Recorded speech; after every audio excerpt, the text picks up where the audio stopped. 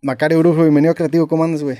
Estoy sumamente contento, cabrón. Em, estoy muy agradecido porque descubrí un superpoder en la vida que se hizo real y que en este momento estoy comprobando que es real. Qué cabrón. Qué cabrón. Me estabas platicando la historia, creí que le ibas a empezar a contar, güey. Por eso te me quedaste Sí, digo, yo güey, dije y que a la verga, sí este vato viene va, la seguir, historia. va a seguir desarrollando la historia. Ok, ok.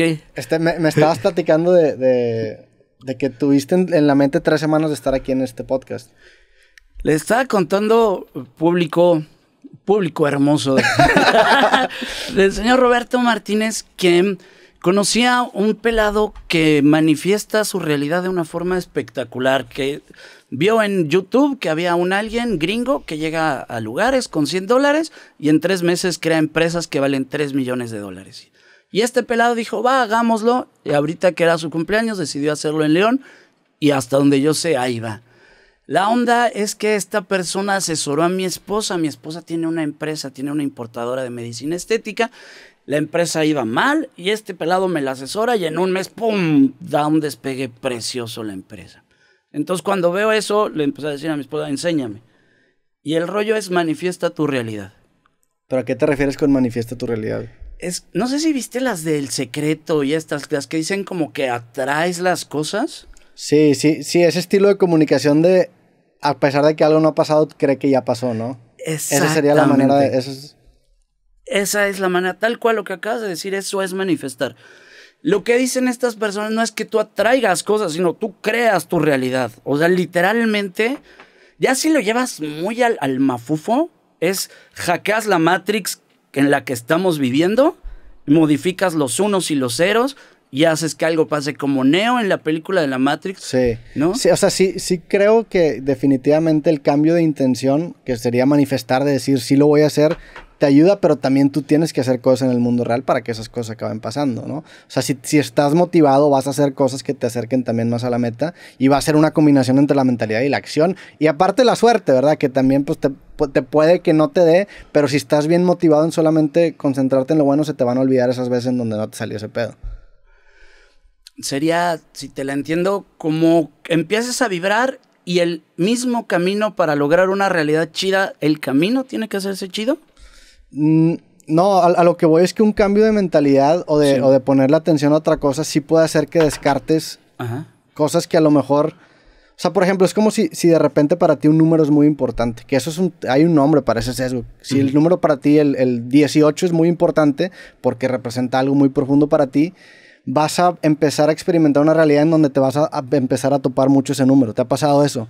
¿Con algún símbolo, con, alguna, con algún número te ha pasado? Sí, y también es común con coches, cuando dices, me quiero comprar tal coche y lo estás viendo, ese mismo modelo. Porque tu cabeza cuando se lo topa dice, a la verga, eso es lo que quiero, pero se le olvida todas las veces donde no se lo topó. Y en retrospectiva, o sea, cuando te acuerdas de eso, dices, oye, güey, me lo topé un chingo.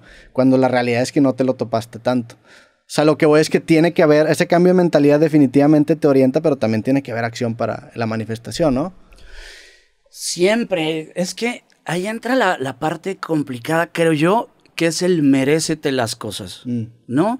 Por ejemplo, si tú dices, yo me quiero poner mamado, cuando empiezas a hacer ejercicio, llega un momento donde duele. La banda que se va a poner mamada es la que pasa del dolor para allá. Claro. Los que en cuanto nos duele nos rajamos, no merecemos estar mamados, ¿no? Sí. Pienso yo igual como para manifestar una realidad abundante, llega momentos de mucha frustración, de mucho estrés, mucha ansiedad, ¿no? Y ahí es donde la banda dice, ok, estoy muy cansado, estoy desvelado y me voy a poner a trabajar dos horas más. Claro. No a decir, ya me cansé, son las 3 de la tarde, ya me voy a tirar a echar la hueva, ya me voy a poner a ver la tele. Creo que el, cuando ya duele y le Sí. sigues, este momento hace el merécete las cosas.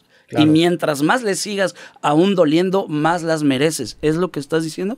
Sí, digo, no lo había pensado de esa manera, pero sí tienes razón de que cuando sientes que ya te mereces algo, el estándar de lo que vas a aceptar se vuelve muy alto, entonces haces todo lo posible para llegar cuando menos a ese estándar, ¿no? Pero tiene que ser acompañado con una acción. O sea, es- la manifestación definitivamente es la manera correcta de hacia dónde voltear, pero tienes que caminar ese camino mediante trabajo y disciplina, güey. Y también tener, es, tener esa suerte de que, de que pasen las cosas, o sea, Digo, estabas hablando de esto porque manifestaste, tú me decías hace tres semanas que ibas a estar acá. Te voy a platicar la historia un poco larga, ahorita te la platiqué muy resumida. Me llegó un mensajito, un Instagram, que decía, durante un mes, nada más vas a decirte esto. Soy las estrellas viviendo la experiencia de ahorita ser Macario. Me empecé a clavar en ese rollo y llegué a la conclusión de que por más jalada y poética que suene, cierta. ¿Topas a Deepak Chopra? Sí, sí sé quién es. Cuenta Deepak Chopra que un día estaba con su nietecita y están viendo las estrellas y le dice la niña, ¿qué es eso, abuelo? Y le dice, eso somos nosotros. Nada más que nos hicimos acá porque desde allá no nos podemos contemplar. Claro. Sí, es esta idea, y, y, de hecho yo también es una idea que comparto, de que si lo ves desde una perspectiva muy lejana, yo sí creo que todos somos el mismo organismo, o sea, somos parte de una experiencia que estamos viviendo, un mismo ente que es el universo, ¿no? Sí. Eh, y, y sí, o sea, digo, lo decía, lo decía justo Carl Sagan, decía, somos polvo de estrellas y nosotros somos, no sé si decía eso, pero decía, nosotros somos la manera de que el cosmos se conoce a sí mismo, porque somos parte del cosmos, o sea, somos el cosmos, vaya. Y digo, ese, ese, tipo de realizaciones físicas tiene implicaciones filosóficas porque también es una manera de, de, verbalizar de que, bueno, cuando tú ves otra persona, esa persona es, tú también. O sea, es otro, son tú. O sea, todos son tú. Y eso te genera una cierta empatía por, por la raza humana, si lo quieres ver así, güey. Y por el universo en general, por la naturaleza. Eso es lo que lo desencadena, vaya. Hicieron un estudio en la Universidad Estatal de Nuevo México. No te sé decir cómo hicieron el estudio, pero checaron en el cuerpo el oxígeno, el carbono, el hidrógeno que tenemos y determinaron todo lo que tienes ahí, por lo menos el 94% de lo que tienes ahí, sí salió efectivamente de explosiones de estrellas. O sea, ya diciendo, ya lo quitamos de poesía, te estamos diciendo, si no sé la... No, Pero ¿y el otro 6% qué pedo, güey? El otro 6% ponle que ya sea terrestre. Ponle que ya sea tu parte de este planeta. Pero pues este planeta también viene de esa... O sea, realmente es todo. Claro, cabrón. O sea, realmente el, planeta en donde tú naciste también viene de esa explosión, güey. De acuerdo. Entonces, a la hora que tú dices, ¿somos los mismos? Sí, claro, porque somos, somos el universo manifestándose en la experiencia de Roberto, en la experiencia de la paloma. pero si lo ves desde muy lejos, sí somos un organismo que nada más está haciendo como ciertas pruebas, pero es... Y a ver, y, te, te, vas a implicaciones, como te dije, filosóficas, tanto en el tema de empatía. Sí. Y pues es la manera en la que hay muchos filósofos que han hecho un trabajo que quiere precisamente describir eso. O sea, Jung con el inconsciente colectivo y con estas, pues incluso Grimberg con el tema de la latiz. O sea, es, lo que estaban intentando expresar, que somos parte de una conciencia universal, un inconsciente colectivo. Y al aprender uno, aprendemos todos. O sea, ese es el experimento que estaba haciendo justamente Grimberg antes de desaparecer. Era probar diodos con dos personas que estaban relacionadas eh, mandarle estímulos a una persona y monitorear el cerebro, el cerebro de la otra en otro cuarto a ver si reaccionaba. Era como expresar eso, güey. Lo, que, lo, cual lo vuelve bastante interesante porque sí parece que estamos cerca de descubrir algo distinto, o sea, algo, algo realmente importante. Le preguntan al Dalai Lama, ¿qué es el budismo? ¿Es una religión? Dice, no, no es una religión. ¿Es una filosofía? No, es una filosofía. Entonces, ¿qué es? Y dice, es una forma de hacer ciencia. El problema es que los occidentales creen que solo existen cinco sentidos y su forma de hacer ciencia se limita a cinco sentidos. Y dicen los budistas entendemos que hay muchos más sentidos. Y creo que ahí es donde entra la percepción de las cosas más allá, porque si yo con los ojos estoy, estoy contemplando mi entorno, digo, esa silla y yo no somos lo mismo, el árbol y yo no somos lo mismo, porque hasta ahí dan mis cinco sentidos, pero dice el Dalai Lama, si alguien te está viendo acá atrás, vas a voltear. ¿Con cuál de tus cinco sentidos percibiste que te estaba viendo alguien?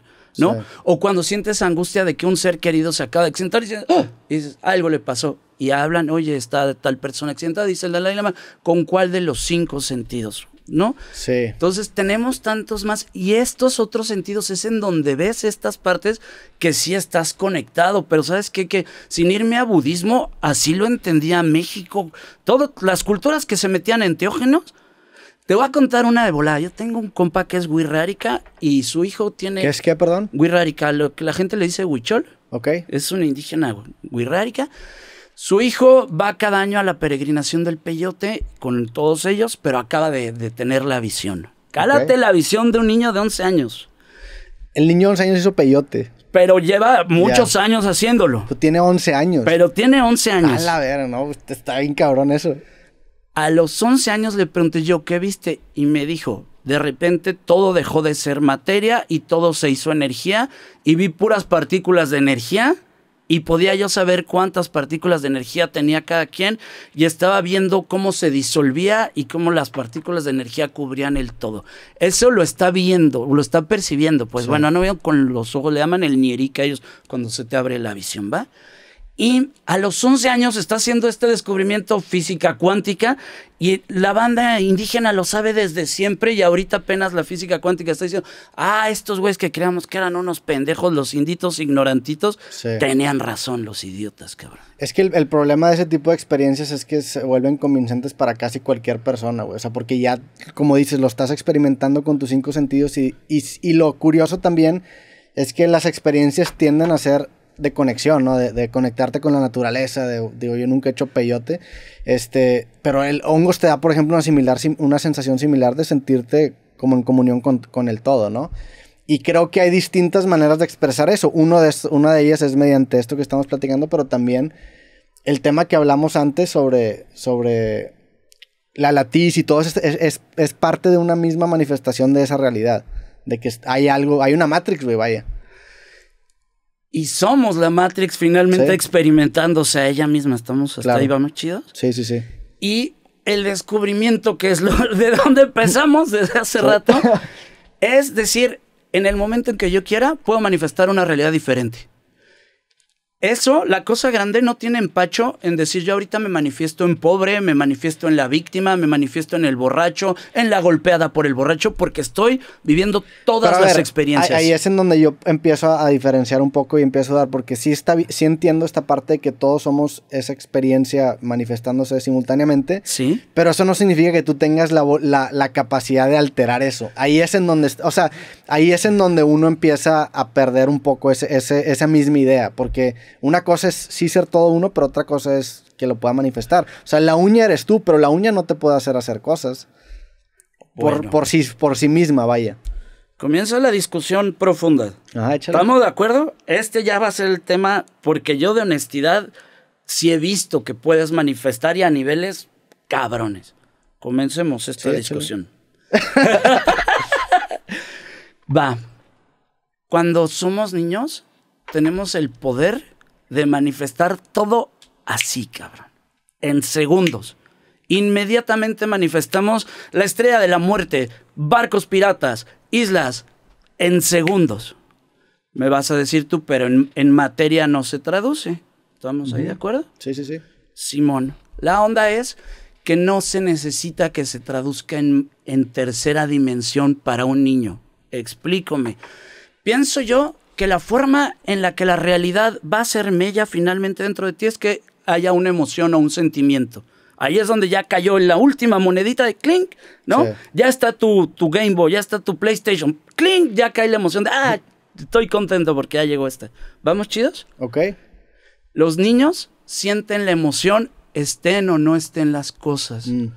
Para un niño, si dice aquí hay un barco pirata, la emoción es ¡wow! Hay un barco pirata y nos estamos peleando contra aliens. Sí, pero, pero también el problema es que la, emoción no es el surgimiento de algo, es el, disparo de neurotransmisores que ahí estaban, ¿no? Sí. Que se empiezan, que se producen. Entonces, realmente la, emoción para el humano es experimentar ese disparo de neurotransmisores. Si te, si te disparan serotonina, te sientes feliz, o sea. Sí. Y eso es verdadera. La experiencia que tú como estrellas estás viviendo son esas emociones.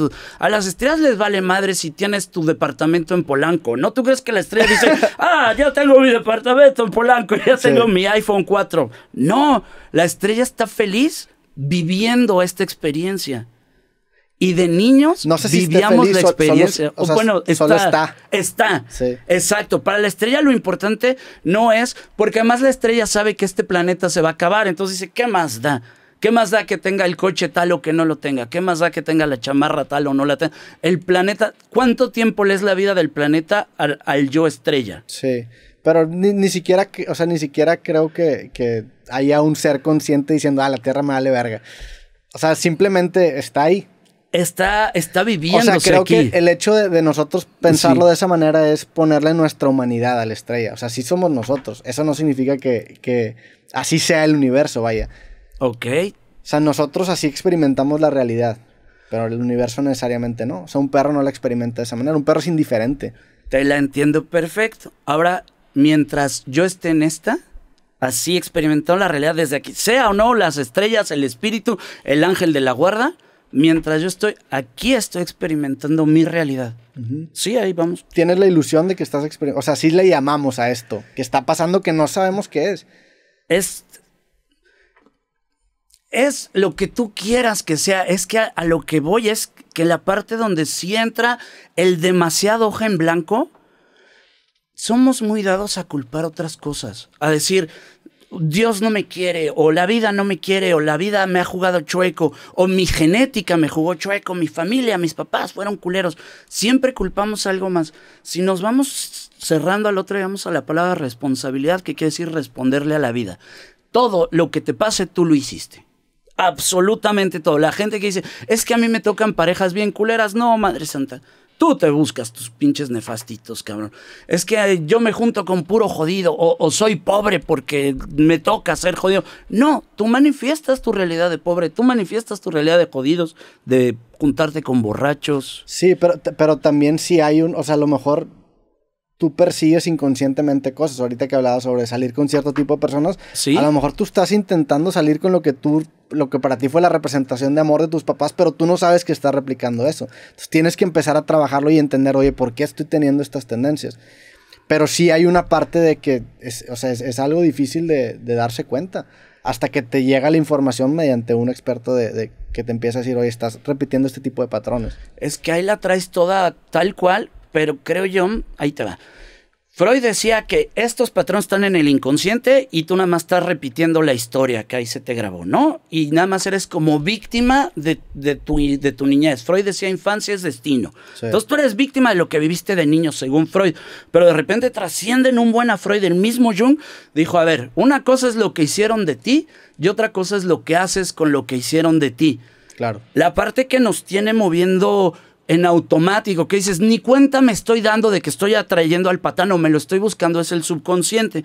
Que ese se mueve, estés, lo tengas claro, ¿no? Ese está creando tu realidad. Sí, y, y ese, y ese se compone de puras cosas que te traumaron, o sea, cosas que, experiencias que dijiste, "Po- esto es demasiado fuerte para mí, no lo quiero procesar, vamos a, a reprimirlo y lo mandas al subconsciente, vaya, y eso es lo que te empieza a hacer que tengas ese tipo de patrones. Por eso si tienes una experiencia en tu infancia que es traumática, la metes al subconsciente o al inconsciente y eso empieza a mover tu comportamiento de maneras que no te vas a dar cuenta porque lo haces inconscientemente, vaya. Pero si es tu culpa, no estarte metiendo al subconsciente a limpiar el changarro. Es como si tú Pero es tienes que pu- un no- sótano. Sí, claro, pero si no sabes que existe el inconsciente, o sea, hay mucha gente que no tiene acceso a este tipo de información y si no sabes que eso está ahí, ¿cómo, cómo vas a hacer un, o sea, cómo vas a atacar eso que no sabes ni que existe? Ok, ahora ya entramos a ahí- materia interesante. Y ahí entramos al tema de la, de la ventaja que viene con la educación, ¿no? De, de tener ese tipo de información. Y sabes que estaba de esto que dices hablando con mi esposa justo porque decía, si todo el mundo entendiera que puedes manifestar tu realidad, sería otra cosa. Pero de ahí entra el por qué no todo el mundo sabe eso. Porque la educación se va a perder el tiempo en otras cosas donde no te explican, oye, tienes un subconsciente, cómo lo puedes limpiar, cómo la parte emocional, cómo trabajarla. ¿Y sabes por qué? O sea, ¿sabes por qué no pasa? Porque también las, las personas. Digo, no, eh, nos vamos a poner ya muy conspiranoicos, pero la, educación obviamente es selectiva con qué le enseño no a sus ciudadanos. Porque es mucho más fácil tener ciudadanos o gente manipulable si le das un, un cierto tipo de educación y eso se acaba manifestando en lo que aprendemos. Si no, educación financiera es mínima también lo que se enseña en, en- en educación pública, lo cual es una mamada porque es de las cosas más importantes que tienes que saber para tu vida, ya hablando en tema práctico, y no, ni siquiera se toca, estamos viendo... otras cosas, güey, que, que son menos importantes, que también son importantes, son menos importantes, ¿no? Te enseñan muchas formas de sumar y de restar. Sí. ¿Estás de acuerdo? Que las matemáticas a mí me encantan, son bien importantes. Y de hecho las necesitas matemáticas para entender conceptos. Pero una cosa es que te enseñen el martillo, pues no te enseñen a usarlo, güey. ¿De qué me sirve saber todo eso si no me va a servir en mi día a día? Y es porque no, no conectas ese punto de finanzas con matemáticas. Y regreso a la otra parte, viejo. Nos quitan el juego. La escuela lo que está enfocada es en quitarte, porque la capacidad para, para generar tu realidad, y sí se acaba manifestando. Me fui a los niños, que ahí se acaba manifestando solo en emociones. Pero en grande, el juego manifiesta realidades en tercera dimensión. O sea, sí modifica tu entorno. Vamos, ahorita llegamos al punto de si lo atraes y lo consigues o lo creas. Sí, ¿no? modifica tu experiencia de la vida y eso cambia el resultado. Claro, viejón. Y Pero no sabes si lo cambia tanto, pero lo va a cambiar. O sea, el hecho de que ahora te, te sientas de esa manera te va a hacer actuar distinto a si no hubieras tenido ese sentimiento. Por lo tanto, sí sirve de algo. O sea, no estoy diciendo que no sirva de nada. Una, pero una cosa es que sirva de algo y una cosa es que tú tengas la capacidad de decir, mira, yo quiero que pase exactamente eso. Eso es lo difícil, ¿no? Eso es lo difícil, pero sí es, sí es real. Te voy a dar ejemplos que a mí me constan. No, ya si la gente me cree o no me cree, es su pedo. Estábamos en Huautla de Jiménez, estamos con la heredera, no es de su familia directa de María Sabina, pero cuando María Sabina chafea, esta señora toma como el liderazgo ahí de los chamanes de Huautla, ¿va? Simón. Y llegan unos poblanos del gobierno, cabrón, bien nefastos, gente culera, cabrón. Y empezaron a nefastear que su pueblo de inditos y que bola de jodidos y bola de pobres, y los de la casa ya están así, ¿ok? De repente, Pero esta gente, ¿dónde era? Están, eran poblanos en Ya, Huautla, en el lugar donde era María Sabina. Va, están en, en la casa donde ahora se hacen las ceremonias en Huautla. Y esta gente está prepotenteando. Está Julieta, que es la mera abuelita, está Eugenia, que es la hija, y está otro compa, que es el hermano de Eugenia, que no me acuerdo cómo se llama. Y voltea la hermana de Eugenia y me dice, ponte al tiro porque ya me cansaron y los voy a matar. A la verga. Y saca un machete. A la verga. Y Eugenia le hace así. Y ya guarda el machete. ¿Va? De repente sale un perro corriendo, rin, rin, rin, rin, rin. Sube unas escaleras. Va este pelado corriendo atrás de la morra, del perro, perdón. No de la morra, del perro, rin, rin. El y- vato con el machete. No, no, no, el, el poblano, Ah, el, el poblano. nefasto, Ah, el, nefasto, el el del gobierno. Ya. Sale corriendo atrás del perro para acariciarlo y de repente de las escaleras nada más lo ves como a tu, tu, tu, tu, tu, tu, tu, así como para atrás, en reversa. Y se agarraba el pie y le decía a mi amigo Eugenia, suéltame, suéltame. Pero tú estabas ahí. Sí, yo estaba ahí. viste a ese vato caerse de reversa. Sí, ese no me lo platica Chana que dice Juana, eso yo lo vi, viejo. Pero el vato así de reversa. Y le decía a Eugenia, suéltame. Pero Eugenia está hasta allá, ¿ok? O sea, Pero tú qué estabas haciendo ahí. pues yo iba a ir a mi ceremonia, o sea, llevo por ahí, mis honguitos. ahí estabas en, en tu ceremonia o todavía no empezaba. No, no, no, ahí estábamos como en el cafecito antes de la ceremonia. O sea, todavía no empezaba. Todavía no empezaba la ceremonia. No, la ceremonia O son sea, en la noche. y después tuviste una ceremonia. Sí, A verga, cabrón, no mames. Le dice, suéltame, y Eugenia le dice, así va a estar el tiro. Pero entendemos que Eugenia no lo está agarrando con las manos ni nada, si está hasta allá. Pero el- güey estaba persiguiendo un perro Ajá. y luego viste que, que se cayó y se, se vino de... Se va así, pero como en reversa de las escaleras, tú, tú, tú, tú, tú, tú, tú, y está tirado en el piso agarrándose el pie. Ya. Eugenia le dice, así va a estar el tiro, te voy a soltar, ahorita se agarran todas sus cosas, se me sacan a la chingada todas. ¿De acuerdo? De acuerdo. Y en ese segundo puede empezar a caminar el pelado. Dijo, vámonos, vámonos, vámonos. O sea, Eugenia, a pura al uso de la fuerza Jedi, lo tumbó de las escaleras y no lo dejaba caminar, cabrón. Esas son manifestaciones ya de, de entrar al- a los unos y los ceros.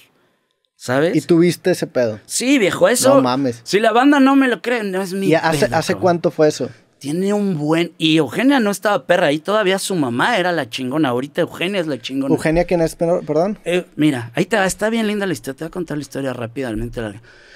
Está de moda María Sabina, todo el mundo. Dicen que en una cabaña hay dibujos de Walt Disney, en, en Huautla. Ok. Ajá.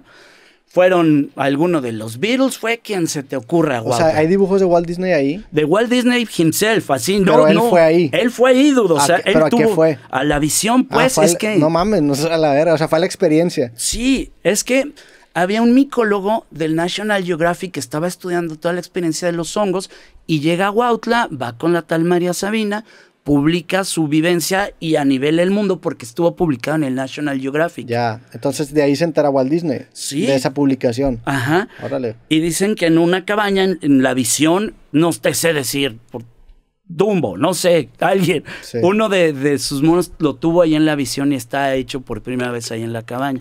Yo no lo he visto, pero cuentan mucho como esa anécdota. Qué cabrón. Simón. O sea, ahí se le ocurrió un personaje memorable. Sí, dude. Sí, en, en la visión.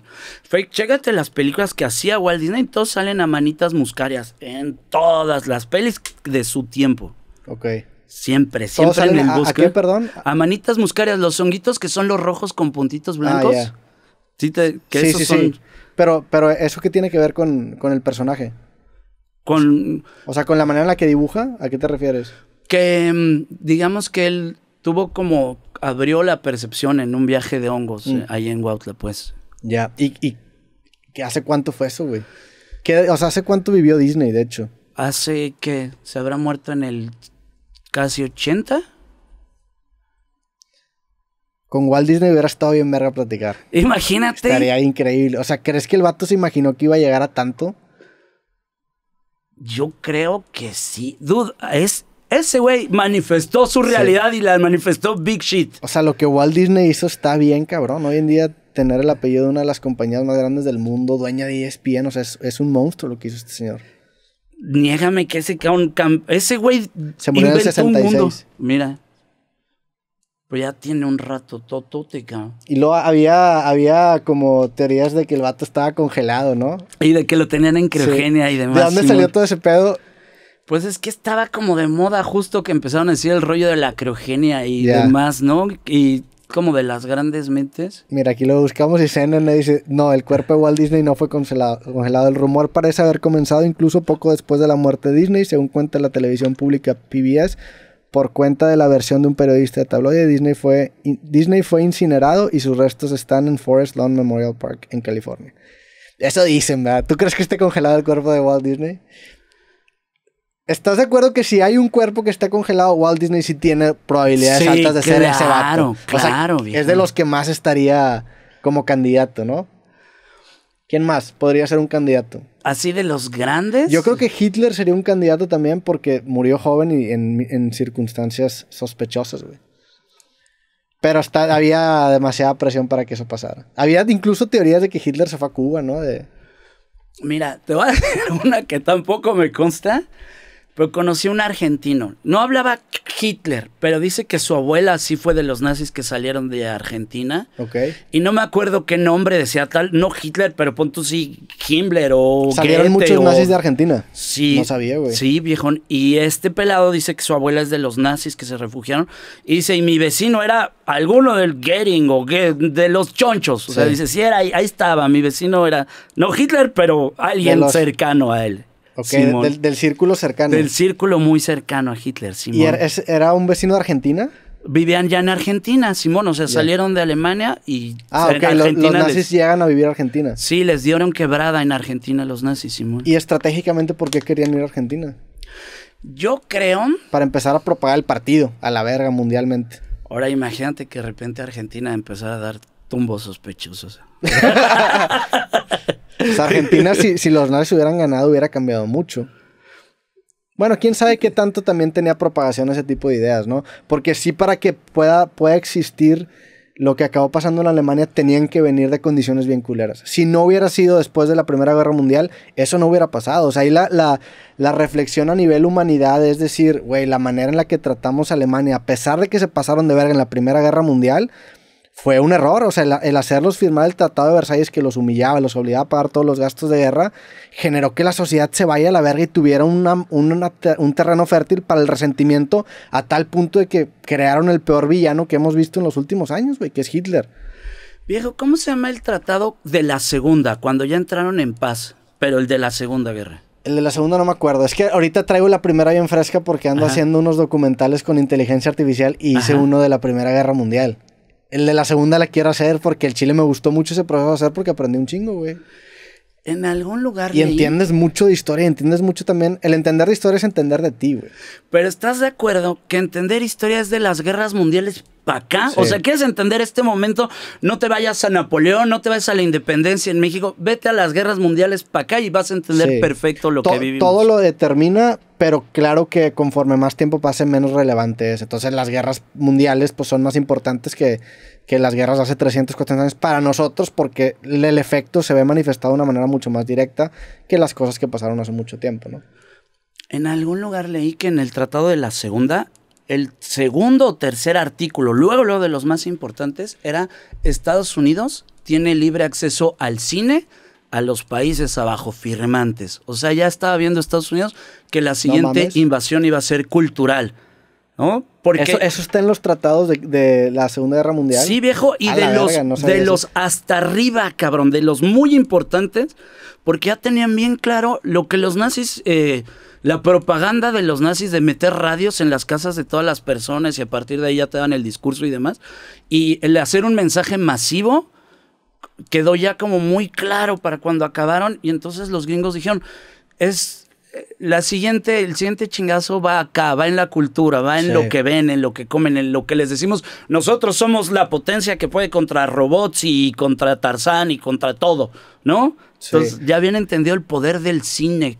Qué, qué cabrón. Y digo, es algo que uno a veces subestima porque dice, ay, no mames, ¿cómo mediante las películas vas a cambiar tanto a comparación de otras cosas que ves quizá de manera más física?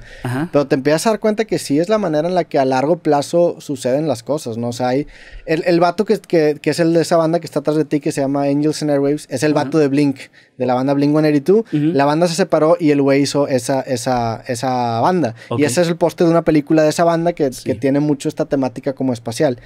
El güey desde siempre ha sido eh, un ufólogo. De hecho, ha sido galardonado como ufólogo y es un güey que le, apasiona mucho el tema desde hace un chingo. Yo, yo, era muy fan de Blink, entonces desde siempre conocí ese, ese, lado de ese cabrón. el vato llegó al punto en el que se dice que se separó de la banda para dedicarse al tema de UFOs y aliens porque es un güey muy apasionado. Y este vato hace algunos años empezó una compañía. Y esta compañía se llama To The Stars. Y es una compañía que en un, que en un principio uno como no entiende, porque The Stars básicamente crea películas y, series y caricaturas que tienen que ver con, temas espaciales. Ok. Y después el vato como que empezó a, llevar este pedo al siguiente nivel, empezó a publicar novelas que te explicaban cómo según él veía que funcionaba pues vaya, el, gobierno de Estados Unidos en el tema más profundo y te lo cuenta mediante novelas. Y el vato empieza a expandir esta compañía y empieza a hacer un, un, consejo, un, consejo de puros miembros bien cabrones. Y el vato empieza a reclutar a muchos güeyes que trabajaban en el Pentágono, que trabajaban en puros proyectos clasificados en Estados Unidos y que ya estaban retirados. Todos esos forman su consejo. Y el güey establece la misión de la empresa. Y se me hizo bien interesante porque se relaciona con el poder del cine, güey. la misión de la empresa es decir, mira, la mejor manera de poder nosotros comunicar conceptos muy elevados, que si hoy en día comunicamos de manera directa, desestabilizamos y mandamos toda la verga, es lento. Tenemos que empezar a comunicar lentamente. ¿Cómo comunicamos lentamente? Mediante el arte. Empezamos a contar películas, empezamos a contar historias que empiecen a tener más o menos este tipo de temas para empezar a familiarizar con la gente. O sea, si tú te empiezas, no sé, si tú piensas en, el, en viajar por el tiempo, pues algo que, que conocimos a través del cine, güey, porque no hay otra manera de conocerlo. ¿Quién puso esa idea en primer lugar? Y por eso se dice mucho que el cine es como un oráculo, especula sobre el futuro, pues porque las cosas que, que bajo esta arquitectura, las cosas que el gobierno te está enseñando, pues te las está enseñando por el cine, porque es lo que va a pasar después, güey. Y se me hizo bien interesante la misión de esa compañía, güey. Y al vato le ha caído mucha mierda, pues porque obviamente siempre que platica esto parece como un loco. Pero, pero tiene mucho que ver con esta idea de que sí, el, el, cine, el arte, el entretenimiento, las redes son una manera de, de, un control de agenda masivo muy efectivo, pero muy lento. Pero ahí está. Me regreso a lo que decías tú. La raza que no sabe que son esclavos de su subconsciente. Hay otros que sí saben que estos son esclavos. Y entonces te estoy bombardeando todo el tiempo.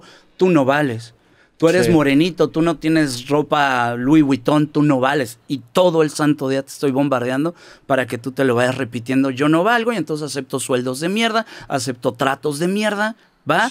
Y me llenas de vacíos y estos vacíos tengo que comprarte cosas, ¿no? Es como funciona el, Dios capitalista bien fuerte. El pedo también es que puedes, o sea, puedes entender que eso está sucediendo pero a pesar de que lo entiendas, te domina. O sea, te, te, estás hablando de, no sé, hoy en día somos adictos a las redes sociales, somos adictos al celular, es la manera de decirlo. Estamos 8 horas, 5 horas, 6 horas al día en el celular. Es una adicción. Si tú te vas a 1980 y le enseñas un video de cómo está la gente ahorita pendejados con una pantalla, te van a decir, ¿qué verga les pasó, güey? ¿Cómo dejaron que, que, ese pedo pasara? O sea, somos adictos al celular. Y lo sabemos. O sea, lo peor es que lo sabemos, lo estamos diciendo y lo sabemos. Pero es tan bueno y es tan efectivo y dependemos tanto de él que no podemos hacer nada al respecto. ¿Y por qué no podemos hacer nada al respecto? Porque la gente que lo está programando es la gente más brillante que tenemos, güey. Es gente que está ganando millones de dólares haciendo algoritmos adictivos para que sigan sacando más dinero. Entonces, aunque sepamos, pues no cambia mucho. Pero cambia el que tú utilices algo como herramienta o como destrucción, porque todo esto puede ser, son herramientas increíbles. Mismo vámonos a lo adictivo. La morfina, si te está doliendo espantoso, cabrón, es, va a ser tu mejor amiga. No, los opiáceos en un momento de verdad de dolor van a ser tus compas. Nada más la onda es qué utilizas, cuándo y en qué cantidades. Y ese es todo el rollo. El alcohol. Y eso sí te lo puede dar la conciencia, tienes razón. Eso te lo da exactamente el que digas.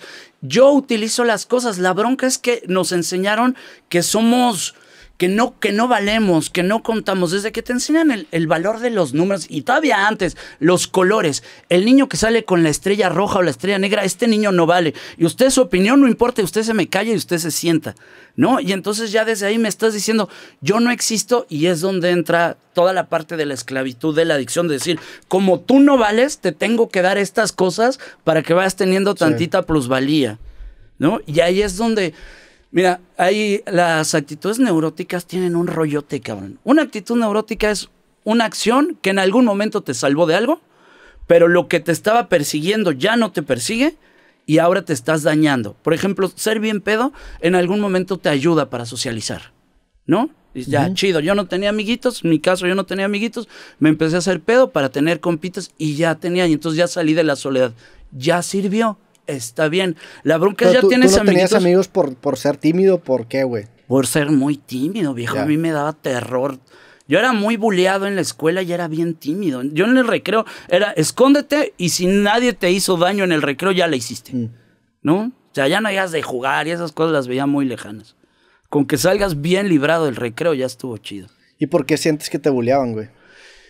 Hoy lo sé, viejo, porque yo me puse. Mira, mi papá se murió cuando yo tenía siete años y yo me compré la historia del huérfano, ¿sabes? Y empecé a, manifestar mi realidad de huérfanito y de decir, pobre de mí, ya no tengo quien me defienda. Está mi mamá cuidándome nada más y somos ella y yo contra el mundo. Y sabes también por qué uno manifiesta realidades chafas, porque es bien sabroso.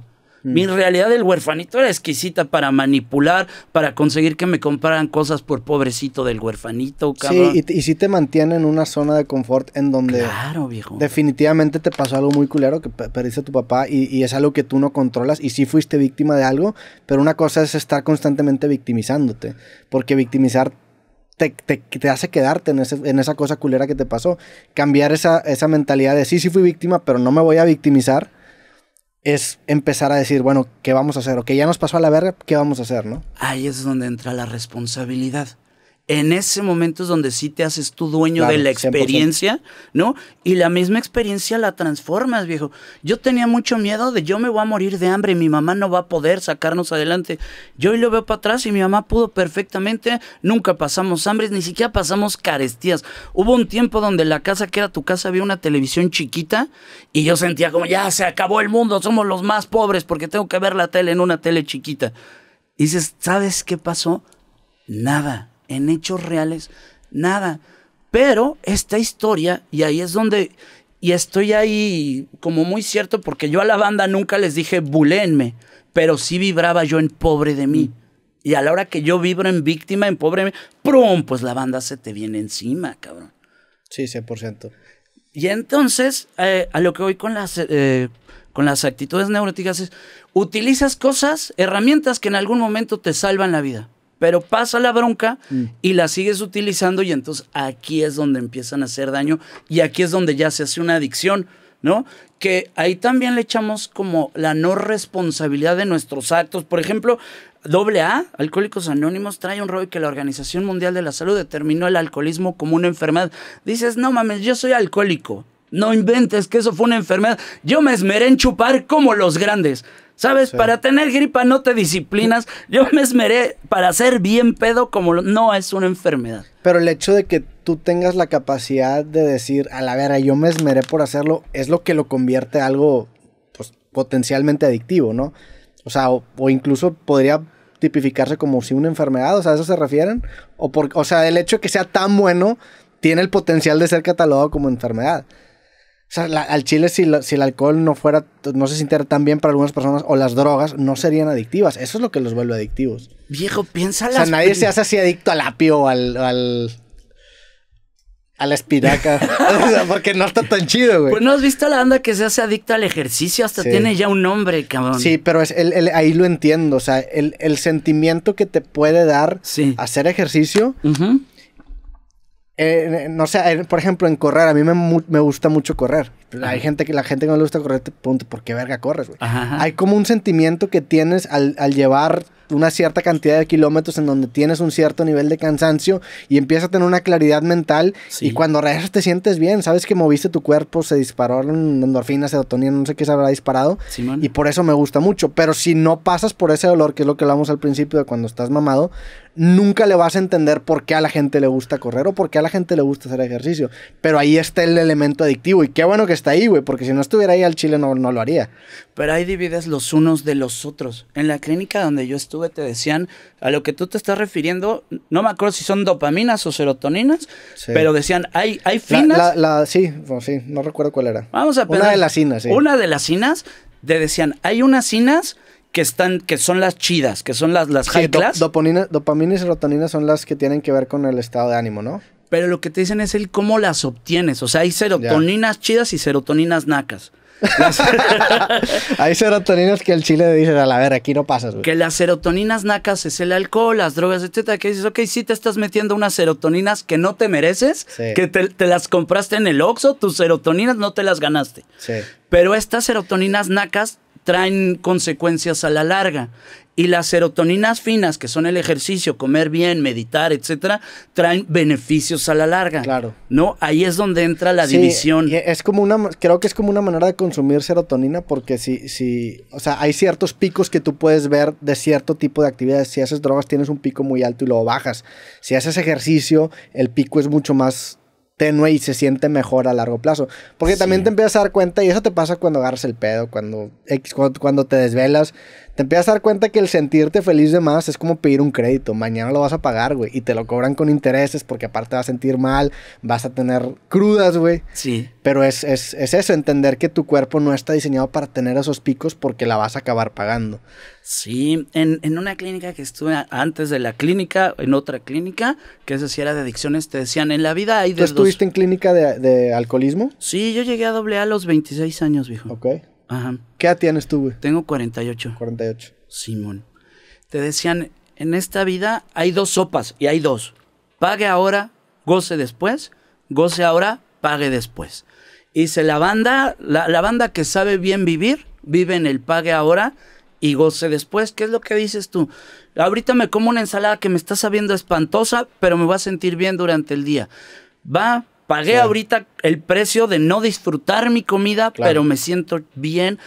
me aviento una pizza, una hamburguesa, la estoy disfrutando, pero de ahí voy a andar todo bofo, guandajo y pedorro toda la tarde. No, y aparte le apuesto a sentirme mejor en general, o sea, que mi promedio sea mejor porque voy a empezar a tener una mejor condición física, me voy a ver mejor, voy a tener más energía y eso me va a permitir hacer más, que me va a permitir, o sea, todo se vuelve un, dominó, vaya, que tiras el primero y empiezas a, a ver el efecto Vayamos. O sea, es un efecto exponencial. Porque uno dice, bueno, pues es como si tienes dos manzanas y te digo, ¿te las comes ahorita o te comes un pedacito, un pedacito, un pedacito? No es así. Porque aquí el retorno sí es exponencial. O sea, es como cuando inviertes. El, interés compuesto en las inversiones es la razón por la cual funciona tan bien, güey. Porque si tu dinero está empezando a crecer a un cierto rendimiento anual, ese dinero o ese rendimiento se reinvierte y genera un efecto exponencial. Y el humano como que no lo entiende, dice, ah, pues es, un efecto lineal, pero no, es un efecto exponencial en donde si inviertes a 10 años o a 50 años, la diferencia es monumental. No es cinco veces más, es exponencialmente mayor, güey. Y ahí es en donde está el, el por qué la apuestas a largo plazo con ejercicio, con comerte una ensalada en lugar de una hamburguesa, porque sabes que va a estar más chido. O cuando menos es la manera en la que yo lo hago, güey. Vámonos conspiranoicos. Todo el tiempo te están bombardeando para la otra forma. Placer y beneficio inmediato, ¿no? ¿Quieres ser chingón? Tómate tal chupe, tal, ¿no? Y la, cuando te dicen, ¿quieres ser chingón? Ahorra, disciplínate. Come ensalada en la calle, no mames, al revés, güey. Exacto, cabrón. Y entonces el bombardeo entra mucho por lo que dices tú. La depresión, la causa de la depresión. La causa de la depresión es juntar ciertos alimentos, que es lo que te vende toda la comida corrida, que tiene que ver con harinas, con queso, con azúcares. Esa es la causa de la depresión. ¿Se dieron cuenta dentro del rollo de la cultura los gabachos? ¿Va? Cuando dijeron, ¿cómo vamos a empezar a invadir a la banda? la comida fue un punto medular aparte del cine y la música. ¿Has visto los videos que, están saliendo ahorita en Estados Unidos que hay como comida plástica? Sí, ¿Qué pedo hay impresoras de comida, Simón. No, pero de repente hay gente que compra, no sé, huevos en un súper o, fruta en un súper y lo, empieza a mover y parecen de plástico, güey. Viejo, acá... O sea, la, comida sí es una manera, es que también nos ponemos conspiranoicos, pero la comida sí es una manera definitivamente de alterar el comportamiento de una sociedad es la manera de las más efectivas. Porque dicen que nuestro cerebro está más en nuestro, en nuestro microbiota que en nuestro cerebro. Entonces, si alteras lo que comes, alteras a la gente, güey. Si te, si te cortan el estómago, cambias tú. Tú eres lo que comes, tú, ¿no? Decía también mi Dalai Lama que yo pienso que todo el rollo del besaniños, eso fue una mala idea, pero bueno. Decía, ¿existe o no la reencarnación? Dice, a ver, tengo una manzana, me la como, ¡tarán! La manzana acaba de reencarnar en mí. Esa es la reencarnación. Ahora vámonos al otro lado. Estoy yo, tengo una manzana, me la como, tarán, yo acabo de reencarnar en yo más la manzana. Hasta ahí vamos, chicos. Pero ¿por qué te re, o sea, porque hice reencarnar? Porque es, es tal cual como lo entiende este campeón. No dice como que tú vivías otra vida hace un chingo y que antes eras Sor Juan Inés de la Cruz. Dice, esas son jaladas, eso no es cierto. La reencarnación es todo el tiempo. O sea, es estarnos transmutando. Ya, él se refiere a que si cambias un ingrediente de ti, reencarnas. Eso es reencarnar. Porque eres un tú diferente. Exactamente. Y el otro es un su diferente. O sea, la manzana, a la hora que ya está dentro de ti, ya se transformó en ti. Ok ya es otra cosa, ¿estás de acuerdo? Sí, sí, sí. Esta manzana ya no existe, ya se murió, pero sigue viva dentro de ti. Entonces esa manzana ya está en otro camino de evolutivo, experimentándose ahora dentro de ti. Sí. Digo, y te puedes ir a, allá, allá a niveles más interesantes. Hay un concepto en, mecánica cuántica que se llama entrelazamiento, que tiene que ver precisamente con el estudio de lo que hablamos en un principio. Digo, obviamente yo no soy experto en mecánica cuántica, si hay algún experto que lo comente, en un entendimiento que yo tengo y es con lo que yo he platicado con gente que sabe mucho más que yo, ¿no? Pero el entrelazamiento tiene que ver con, con el, el, pues vaya, el entrelazado de dos partículas que convivieron en algún momento. Y tiene que ver con esta idea de que una vez que dos partículas hayan sido entrelazadas, a pesar de que una esté a, un lugar geográficamente muy, muy lejano de la otra partícula, si le das algo a esa, esta, esta la, la, no quiero decir la siente, pero la percibe de tal manera, ¿no? ¿Y por qué explicas ese fenómeno? O sea, pareciera que existe un campo que es incluso más rápido que la velocidad de la luz, que tiene que ver con esta idea de que la información llega de manera instantánea en dos lugares que no están cercanos. Y lo relacionamos con el tema, obviamente, el inconsciente colectivo de todo esto que platicamos en un principio, ¿no? Pero como que todavía sigue en esta etapa especulativa, es la realidad. O sea, creo que va a llegar un punto en donde sí va a haber ciencia que lo, que lo señale. Vamos a como aterrizar en hechos prácticos que dice, como, ¿para qué nos sirve saber todo eso? Yo me voy como un poquito para atrás cuando había un respeto por la naturaleza y había un culto siento que nos engolosinamos mucho con el pensamiento y nos hicimos muy abstractos y no entendemos nuestra relación. Vamos a, quitar los átomos, etcétera.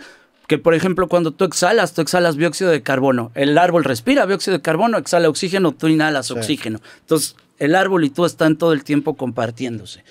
Pero quitémonos eso.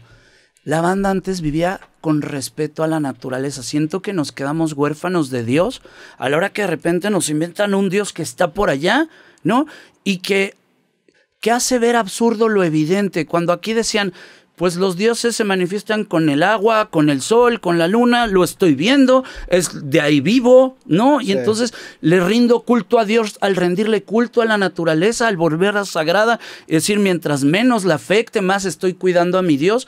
Y de repente es, no, no te preocupes, Dios está por allá lejos y de hecho te dio todo esto para que lo hagas mierda, cabrón. Tú destrózalo y Dios no tiene pedos porque Él está por allá lejos.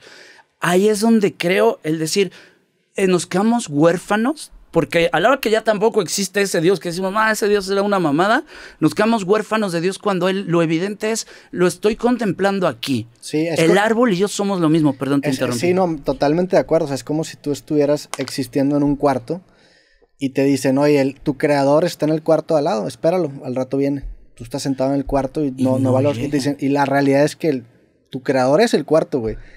Y cambia completamente tu manera de interactuar con el mismo. Y dices, no mames, este pedo me creo. O sea, lo que me rodea, vaya, somos parte de, de lo mismo. Es, es, es una, una metáfora similar a lo que comentas, ¿no? Es tal cual, viejo. ¿Cómo somos capaces de no respetar a nuestro entorno?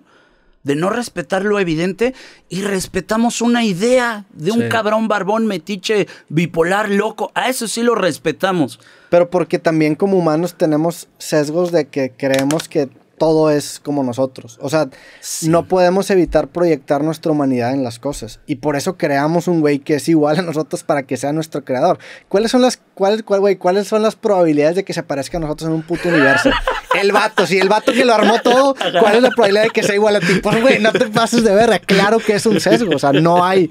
No, o sea, es ridículo. Es ridículo apostarle a eso. Y todo esto tiene que ver también con la idea de que somos un ser muy arrogante. Somos demasiado arrogantes. O sea, ¿cómo.? O sea, la arrogancia que implica decir que el, que el creador de todo esto se parece a nosotros es enorme. O sea, es enorme ese tipo de arrogancia en un nivel cósmico. Y la arrogancia precisamente nos hace. O sea, nos hace crear ese Dios. Si no, si no. Pues si no lo. Si, si, tuviéramos realmente un entendimiento de lo diminuto que somos, nos vamos a dar cuenta que somos efímeros. O sea, que, que no importa, güey. No importa. Y eso es una realización muy dura, obviamente.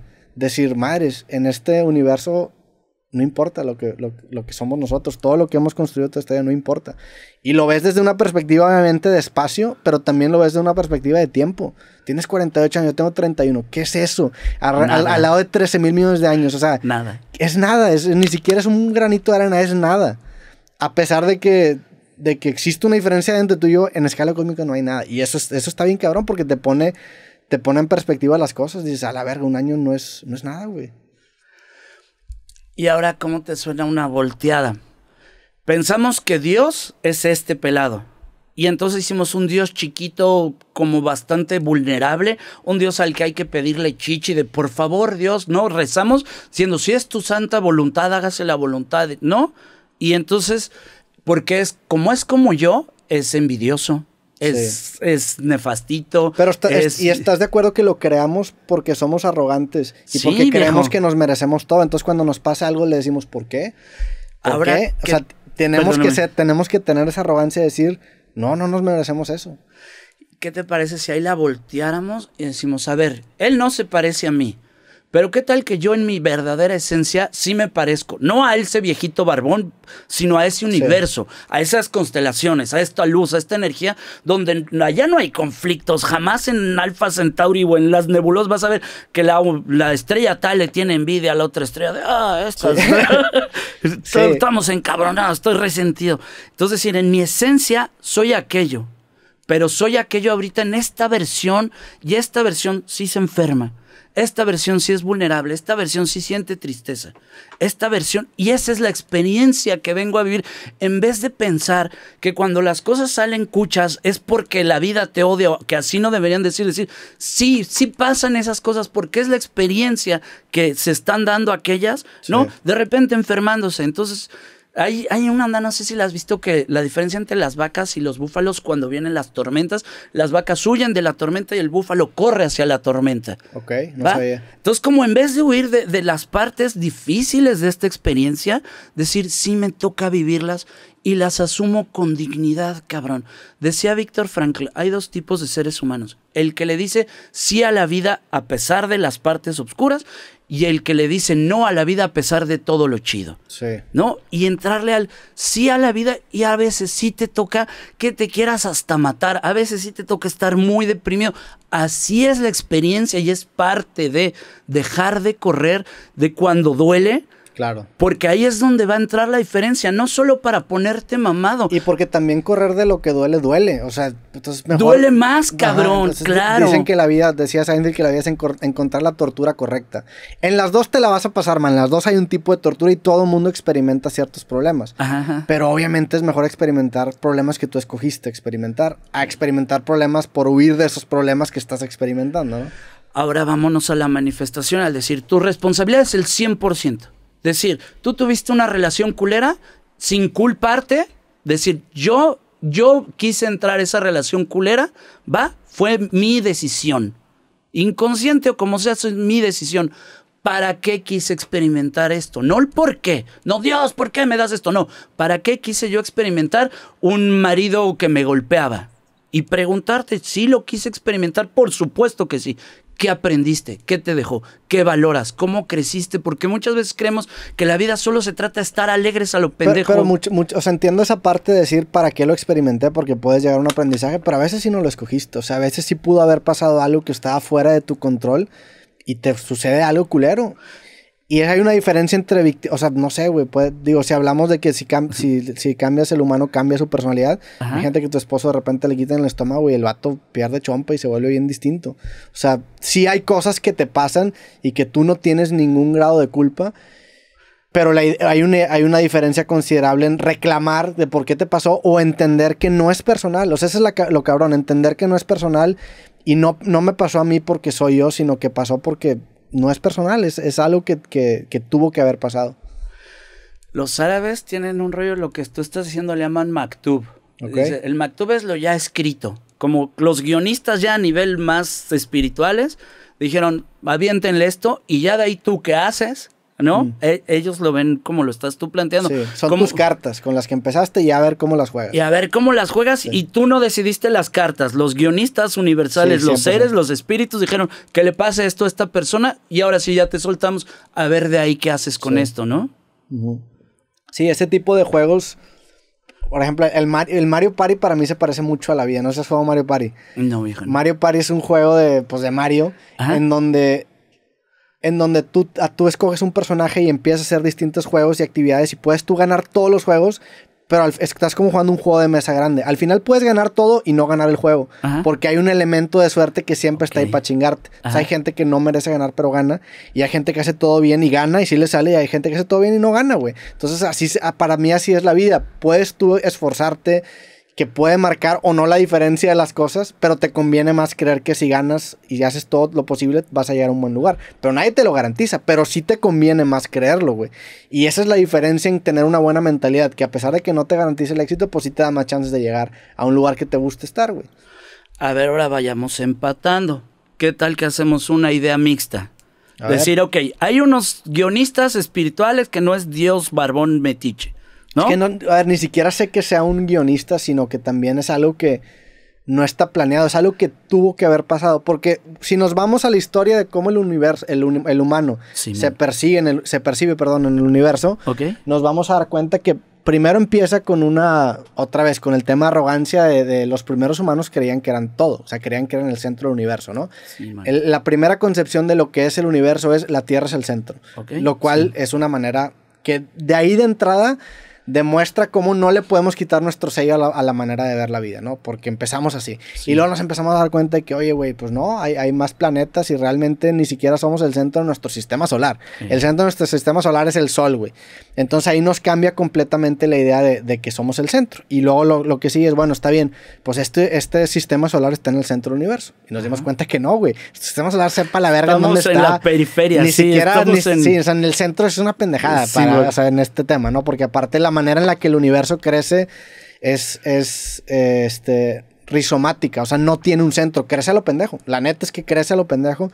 Y otra vez, gente que sabe explicar mejor el Big Bang que yo te va a hablar de este concepto de que no hay un centro porque crece rizomáticamente. Ok. Ni siquiera es- el centro es una pendejada, el centro también es un concepto humano Ajá. que, que nace de la geometría. Entonces nos damos cuenta que, órale, pues no, tampoco somos el centro de, de, de, nuestra galaxia. Oye, pues nuestra galaxia tiene que ser el centro del universo. No, güey, obviamente no es el centro del universo. Nuestra galaxia está perdida en un clúster, que ese clúster ni siquiera tampoco es el centro. Y nos empezamos a dar cuenta de que no somos el centro de nada. Y ahorita tenemos la idea de que existe un universo, o cuando menos hasta ahí vamos, ¿no? Digo, y obviamente ya hay especulaciones de multiversos y de otras implicaciones que el cine ya las está empezando a contar. Esta película, la de Everything Everywhere All at Once, es, para mí se me hizo brillante porque es una manera de traer al, al, mainstream un concepto muy elevado, güey. que hace 10, 15 años lo platicabas y, y, la gente no estaba ni familiarizada. Este tipo de piezas ya hace que todo el mundo de perdido entienda el concepto de multiversos, que hace 15 años era impensado, 20 años era impensado, no, no era tan popular la idea.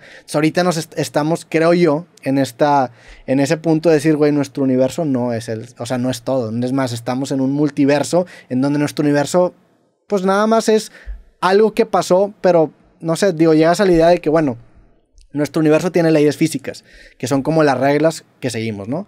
La velocidad de la luz es el límite natural del universo. Nada puede viajar más rápido que la velocidad de la luz, lo cual contradice la idea que te dije del tema del entrelazamiento, ¿no? Que esa es la, la esa es la gran implicación, decir, oye, no mames que hay algo que, que va más rápido que la velocidad de la luz, porque ese es el límite natural del universo. Nada puede ir más rápido que la luz. Sí. Pero esa velocidad pudo haber sido arbitraria, güey. O sea, a lo mejor existe otro universo en donde esa velocidad es ligeramente inferior o superior y eso cambiaría todo. Tiene implicaciones gigantes. Entonces nos vamos a, creo yo que nos vamos a dar cuenta que nuestro universo ni siquiera es el chido.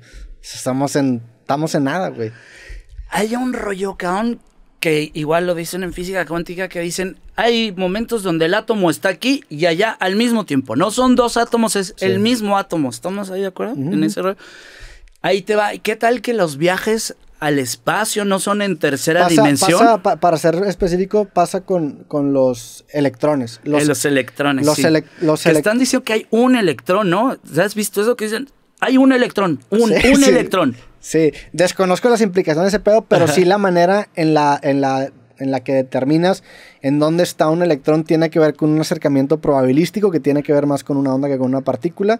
Y hasta ahí, hasta ahí se queda mi entendimiento, ¿no? Pues entonces usas probabilidades y también medir el resultado altera, altera, o sea, altera todo, todo el sistema, vaya. Lo cual es un concepto bien elevado que el chile te voy a contar la visión Guirra y me imagino que la visión Chipivos, la de los, los peruanos que vienen al Amazonas, tiene que ver y va por el mismo rollo.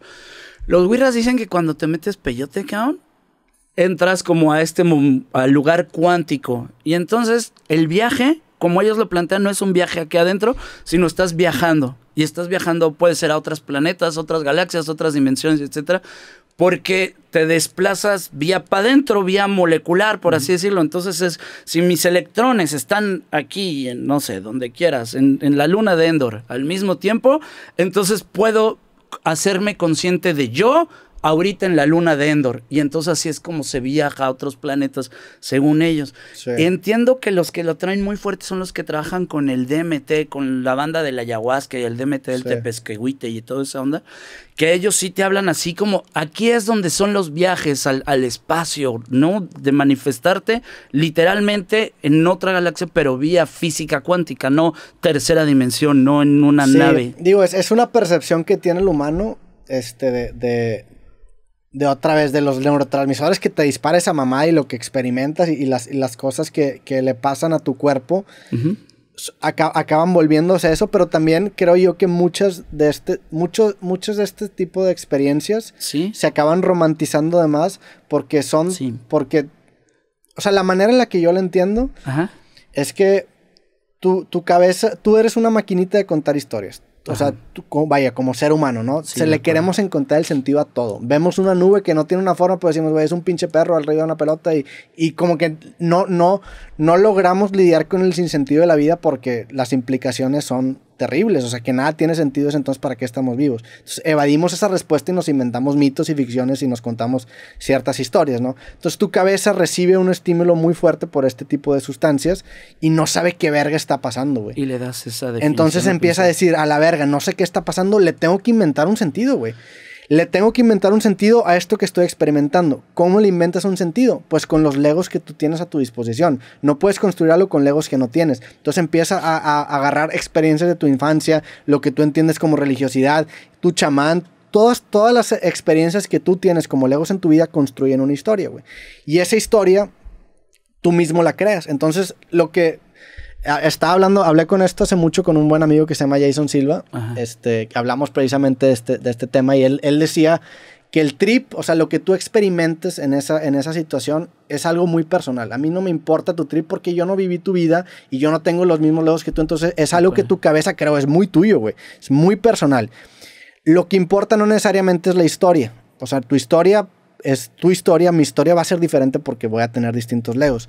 Lo que importa es el valor epistémico de la historia que como él lo definía es, ¿qué te hace hacer eso, güey? O sea, esa historia que te contaste, ¿de qué te convenció? Y eso que te convenció, ¿qué te hizo hacer, güey? Oye, a lo mejor puedes conocer una persona que ayudó a un chingo de gente, que una persona que fue muy buena, una persona que el chile fue brillante y tiene una religión que tú no compartas. Pues me vale verga su religión. Lo que me importa es lo que lo hizo hacer esa religión. Y esa es la manera como yo entiendo la religiosidad, de decir, pues, güey, tú crees lo que tú quieras, lo importante es lo que te hace hacer. Porque la realidad es que no sabemos ni qué verga, o sea, nos estamos inventando una mentira, ¿qué te hace hacer esa mentira, no? Y si utilizas esa mentira como para ir adquiriendo legos nuevos, para irle metiendo y decir, hasta ahorita he construido mi universo Lego de tal forma porque es el tipo de piezas con las que cuento. Claro. Pero si voy tirando a la basura muchas de estas piezas de decir, ay, ya, me quito el que fui la victimita de que me buleaban, el, ya, qué hueva. Me quito el que fui la mujer de, humillada y engañada, ya, qué hueva. Y voy tirando estos legos y voy metiendo y a lo mejor de repente hasta encuentro unos legos de, de, formas raras que te van dando otro tipo de construcción, ¿no? Que, que va encaminadas hacia cosas que tal vez ni siquiera se te habían ocurrido antes. Claro. Es decir, vas encontrando nuevas maneras de crear tu propio universo Lego. Y eh, sí, es esta idea de, de, que construimos una percepción de la realidad sin realmente saber nada, güey. O sea, cómo, digo, cómo también es muy arrogante que nosotros queramos decir cómo funciona el universo cuando somos entes diminutos. O sea, ¿cómo verga tú vas a saber si existe un dios o no, güey. Si al Chile puedes ver 30, 40 metros y luego ya no ves nada, güey. En un universo que es así de, de, gigante, ¿no? Me regreso al poder de los niños para jugar, viejo. Si no hay la realidad, a la hora que juegas construyes esta realidad y en el momento en que esto es un barco pirata, ahorita esto es un barco pirata porque estoy haciendo esta realidad. Porque no es nada. Esta, tú y yo no estamos viendo tu estudio de la misma manera. ¿Estás de acuerdo? Tú no estás percibiendo los colores igual que yo. Entonces, ¿qué está sucediendo aquí? ¿Quién sabe? ¿No? Si nos vamos como al rollo atómico, aquí hay átomos echando un despedor y tú percibes estos átomos de una forma y yo de otra. ¿Aquí existe algo? No. Y al cerebro le da igual si las cosas existen o no. Si tú estás espantado porque viste una película, estás segregando igual adrenalinas y demás que si te está persiguiendo algo. ¿no? Al cerebro no le importa si las cosas están manifiestas en tercera dimensión o no para el cerebro con que esté la idea, está chido y la está gozando. Entonces creo que ahí es donde dices, ¿cuál es la realidad? La realidad no existe para nadie. La realidad es lo que en este momento tú te crees de la realidad. Lo que le da el último tu chingadazo. subjetiva. O sea, la realidad, tú no, tú no puedes entender la realidad, sino que la puedes percibir. Solamente. Y, tú la vas a percibir. Eres un sujeto. Mientras te maneja el subconsciente, tú la vas a, a percibir como se te ha inculcado te han dicho, así es la realidad y tú ya te la tragaste y dices, sobres, así es y esta es la masa, ¿no? A toda la bola que traen de pendejos.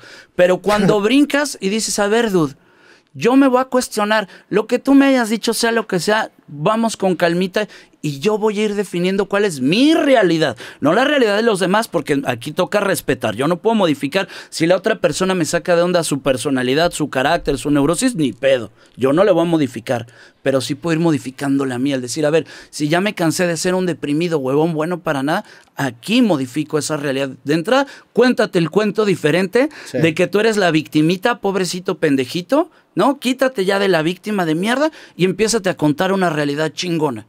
Si quieres seguir en la víctima concha, nada más asume y di, ¿sabes qué? Yo sufro porque me gusta sufrir. Ah, entonces realmente no sufres. está ya, padre. ya, te cuentas una buena historia. Ya, ah, entonces me gusta, güey. Exactamente, ya. Se acabó la depresión en ese segundo. Soy masoquista, la verdad.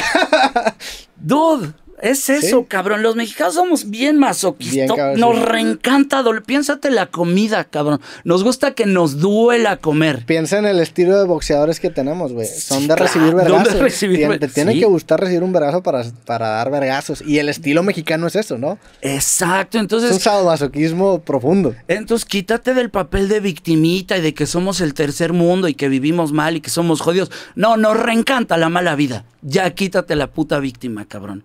Toda Sí. la vida nos han gustado los chingadazos. De, de todas las culturas que han pisado este territorio, siempre han sido bien guerreros. Lo que pasa es que nos contaron que éramos catoliquitos putitos, güey.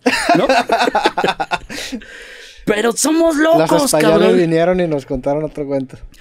Viejo, cálate esto nomás desde ahí, desde la, la escuela, que te dicen, España conquistó México. Hay dos pequeños detalles, no existía ni España ni México en aquel Sí. tiempo. Sí, sí, sí. ¿Sabes? Ya desde ahí te están diciendo, tus raíces están mierdas, porque estos son culeros y estos son pendejos. Los inditos eran unos idiotas que entregaron el oro por espejos y estos eran mierdas. Ya te estoy diciendo, tu raíz papá y tu raíz mamá son pendejos y mierda. Ya desde ahí tú, tú no vales. ¿Sabes? Y de niño, pues tú le crees al adulto, y dices, sí, tienes razón. Pero cuando empecemos, eh, cuando empecemos, perdón, a sanar raíces, a decir, espérate, ¿tú sabes el rollo de la profecía del sexto sol? No. Está bien linda, te la voy a contar. A ver. Cuenta la leyenda que aquí ya había injertos, ya sabían combinar frutos, etcétera. De entrada el trigo es un injerto, el trigo no existía, el maíz no existía. Sí. El maíz, perdón, no el trigo. El, el maíz dominó el mundo a la verga. Y el maíz lo hicieron. Y sabían que cuando juntas dos plantas, las dos se enferman, pero pasado un tiempo sale un tercer fruto. Cuando vinieron los españoles no pensaron que eran dioses, porque eso es absurdo, cabrón, porque aquí los dioses eran la lluvia, la agricultura, el sol, entonces ¿por qué iban a ver a unos güeyes que se parecían a ellos y decir son dioses? Más bien los otros pensaban que Dios se parecía a ellos. Aquí no pensaban que Dios se parecía a ellos pan ni madres, pues Dios es el sol, cabrón. Llegan estos güeyes y entonces dijeron, aquí va a haber un injerto, va a salir un, o sea, se va a enfermar esto, se van a enfermar ellos y nos vamos a enfermar nosotros y en algún tiempo saldrá un tercer fruto.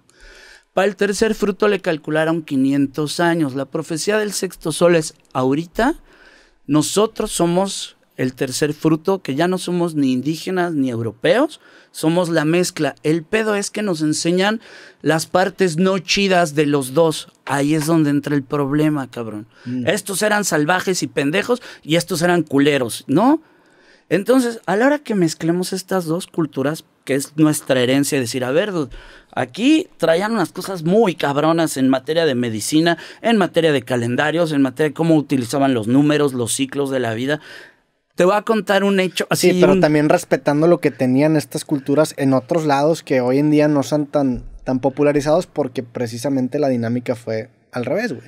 juntar las dos partes, viejo. De acá viene la tecnología. Está bien, tenemos computadoras, está chido. Está verga, sí. Te voy a contar una empresa que fusiona así las dos partes. Son unos dudes que sacan destilado del pulque. Ok. ¿Ok? Y tienen máquinas para sacar el destilado del pulque y las máquinas funcionan con computadoras, pero estos canos tienen un chingo de conocimiento prehispánico. Entonces, por ejemplo, para decidir si van a sembrar o no, ven el comportamiento de las hormigas y con las hormigas saben si toca sembrar o no. Mm. En la tierra. Sí, O sea, dude. si se mueven de cierta manera, la tierra está de cierta forma. Exacto, Órale. o viene tal humedad, o etcétera. Nunca había pensado que podías analizar la tierra con ver las hormigas caminar, pero sí tiene mucho sentido. Pues hacia dónde van, güey. es algo que sabía nuestra banda prehispánica. Entonces, a la hora que fusionemos, es donde va a salir el verdadero latinoamericano. Ya no digas el mexicano. Todo el rollo que ahorita hay los chipivos dando el ayahuasca para el mundo decir, órale, ahí está, cabrón, entiendan. Sí. No, la banda guirrárica ya también se abrió para el peyote. Es que, decir, por, ejemplo, esa parte de, de- Sí. de decir mexicanos tiene que ver con lo que hablamos de educación, güey. O sea, necesitamos creer que México siempre existió y que México siempre existió esa intención de crearlo, porque si no, la historia no tiene sentido. O sea, tenemos que contarnos la historia de que Miguel Hidalgo estaba enamorado de la historia de México, porque al Chile, si no, es, de, que- es un vato que al Chile simplemente actuó por sus intereses, se le antojó, a lo mejor sí estaba hasta la verga, a lo mejor le pasó algo, hizo un cagadero y ese cagadero eventualmente creó México, pero dentro de su idea es ridículo pensar que se iba a concebir que íbamos a estar ahorita grabando un podcast hace pinches 215 años, no mames, güey. Otra vez necesitamos contarnos esa historia para sentirnos mexicanos y tenernos mucho más agrupados, mucho más controlados. Por eso los héroes, los niños héroes, sea, vete a la verga, no mames. Todos los héroes patrios son esos elementos que nos da pues el gobierno, para mantenernos en línea, para mantenernos con, esta, con este amor. Y por, por eso, al, país, ¿verdad? Y por eso hoy en día estamos en una época muy interesante porque los países están empezando a caducar.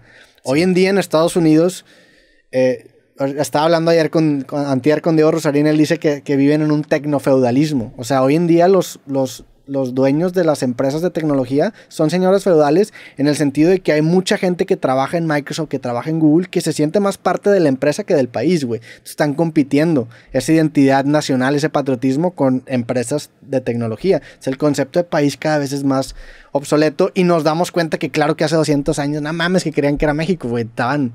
Era, era Nueva España o era, o era, era, era otro pedo, güey.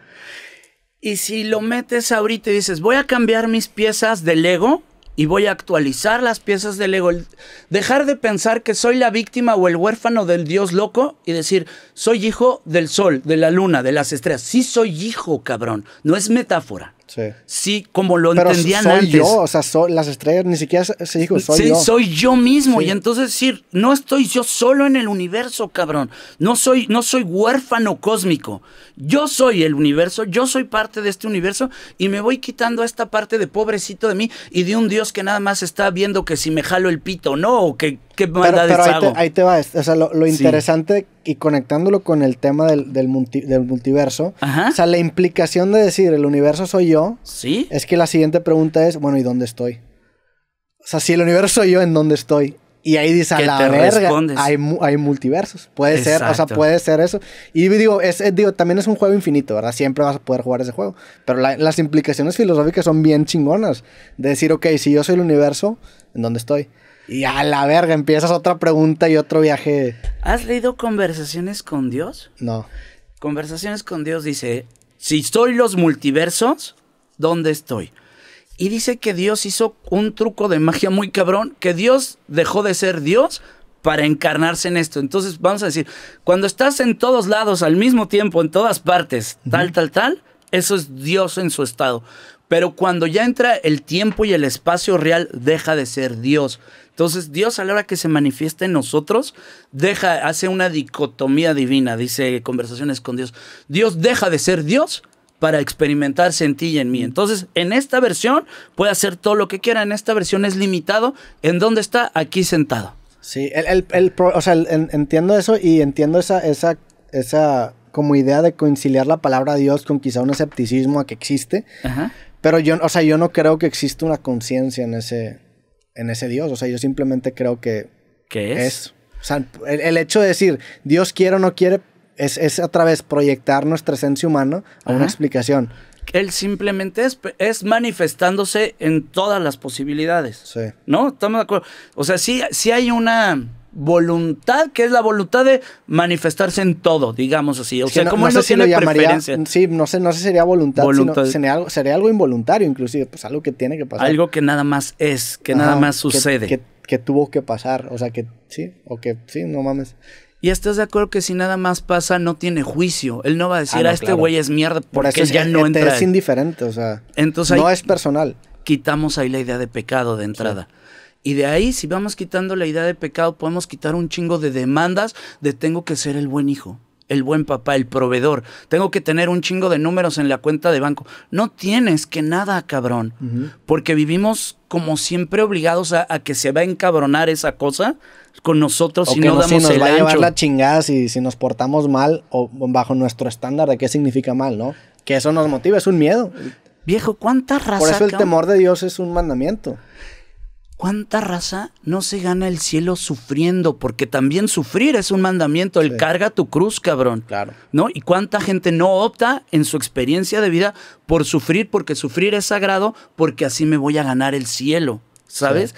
Y entonces ahí es donde empieza a entrar toda esta malinformación, porque no es lo mismo, cabrón, el, el, Jesucristo católico que el Jesucristo cristiano, por ejemplo. ¿Por qué a los gringos les va de otra manera? Porque esos güeyes no tienen este culpígeno de mierda, cabrón, que todo el tiempo está viendo qué haces. Estos güeyes dicen, él ya pagó por mí, chido, ya puedo yo vivir bien. Y acá el, el, el, Jesucristo católico es, usted cargue su cruz, mierda. Había cuando mi mamá era chica. ¿Pero por qué el gringo, por qué dijiste eso del gringo? Porque ellos son cristianos, no mm. son católicos y tienen un Jesucristo de alegría al, al cual lo, lo, invocas echando desmadre, cantando, ¿sabes? O sea, tienen un Jesucristo para arriba. O sea, piensa una misa cristiana en corto. Están echando desmadre, es euforia, ¿no? Y la misa católica es para abajo y es muy culpa, es culpígena de a madre. Y aquí al contrario, aquí dicen, usted ya lleve la leve. Jesús ya pagó por Creo usted. que nunca he ido a una misa cristiana. Eh, que ahí es, es muy fiesta. es- la es misa más- cristiana es muy reventón, cabrón. De hecho, me- o sea, yo no sabía, pero aquí, aquí en Monterrey, en el Auditorio Pabellón M, hay una, hay una misa cristiana todos los domingos. Ok, ok. Yo no sabía eso, güey. O sea, en un auditorio hay una misa. Eso te habla un poco de lo que dices, ¿no? Claro, viejo, pues un buen campo, porque esta versión es culpa. Y entonces tú me vas a sacar chido viviendo en la culpa, ¿no? Y que te estés lacerando constantemente por tus pecados, ¿no? Y tan, tan te quiero culpándote que la imagen central es mira cómo quedó Jesucristo por ti. Quedó todo De- en a sangre. la verga, sí, le- sí le llevó la verga. O sea, eso es lo que... Cada vez que llegas a una iglesia es a la verga, sí le llevó la verga. ¿Estás de Así acuerdo? le fue, cabrón. Le fue muy Sí, mierda y te muy- sientes bien dices, mal, "Verga, sí cabrón. nos pasamos de verga. Nos, pero además es nos Ajá, pasamos. porque somos humanidad. ¿no? Porque Digo, y somos eso te lo embarran desde el pecado original. O sea, tú estás pagando las cuentas del pendejo de Adán, güey. Yo qué verga con Adán, pinche Adán, güey. Adán se armó su propio desmadre que lo pague él. Ah, no, pero lo tenemos todos de, de cajón. Pero además piénsate, no solo en que Adán hizo su desmadre, Dios está pendejo, ¿qué? ¿Para qué puso el árbol ahí? No tenían coche, cabrón. No Ponlo mames. cuatro terrenos para allá y no llega, güey. O nada más no lo inventes, güey. ¿Para qué verga lo inventas? O no lo inventes Sí, y ya con eso, cabrón. No, pero además le hace foco. Como si yo agarro a mis hijas y les digo, hijas, coman lo que quieran menos mis gomitas con mota. ¿Qué Y las pones se- ahí en el Y centro, las güey. pones ahí. Pero esto no se los Estas vayan a comer. Y las pones de la forma que más le gustan, güey. Claro, y súper tentadoras, cabrón. Entonces dices, y pagamos ya ni siquiera por la pendejez de Adán, por la pendejez de Dios. El que está idiota eres tú, carnal. ¿Cómo crees, güey? Si ya sabes cómo soy, ¿para qué verga me las dejas ahí, güey? Así le dices, pues claro. Claro, cabrón. Pero el pedo es cuánta gente no cree en esa tontera que es, es absurda por donde la veas, cabrón. Dices, o sea, de veras, qué, qué- qué historia más Métele, rara. sí, sí, sí. O sea, Dios se emputó porque le comieron un fruto. ¿Eh? ¿De qué hablas, cabrón?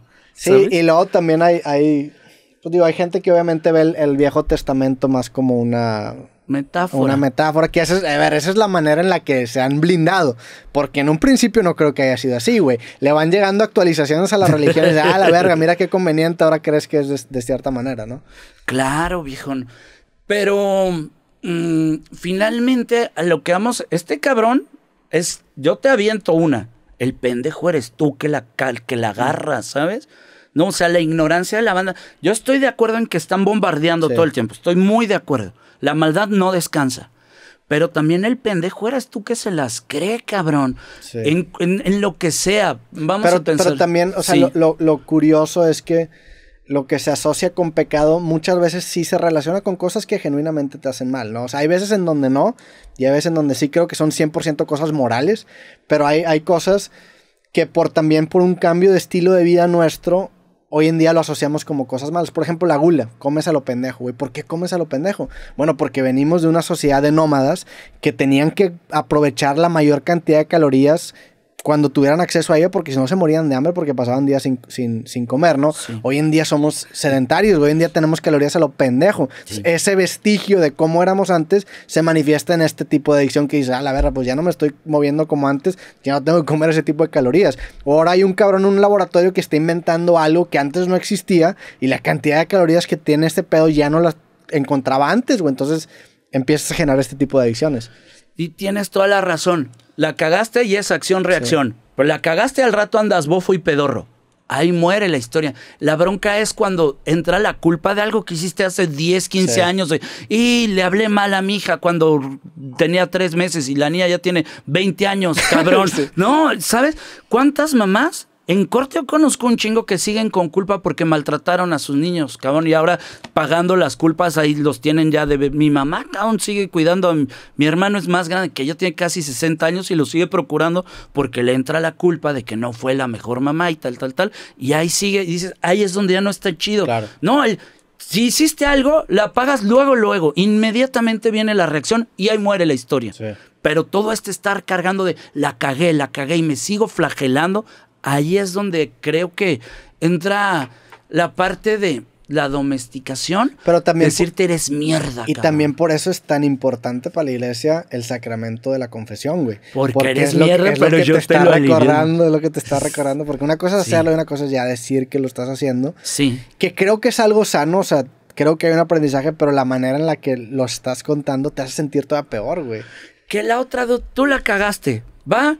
Yo te lo voy a quitar de entrada, como, ¿por qué gracia? Ah, porque yo soy el padrecito. No, pues ya chingamos, pues no mames, Yo de morro siempre, o sea, yo de morro sí era muy católico, la verdad, pero en la confesión nunca, yo nunca le decía nada al padre, pinche padre, qué verga le voy a estar diciendo lo que yo hice, güey, yo después con, directo con el jefe, güey, tú vete a la verga. Desde morro pensaba eso, siendo Sí. yo muy católico, güey, que la confesión siempre se me hizo extraña.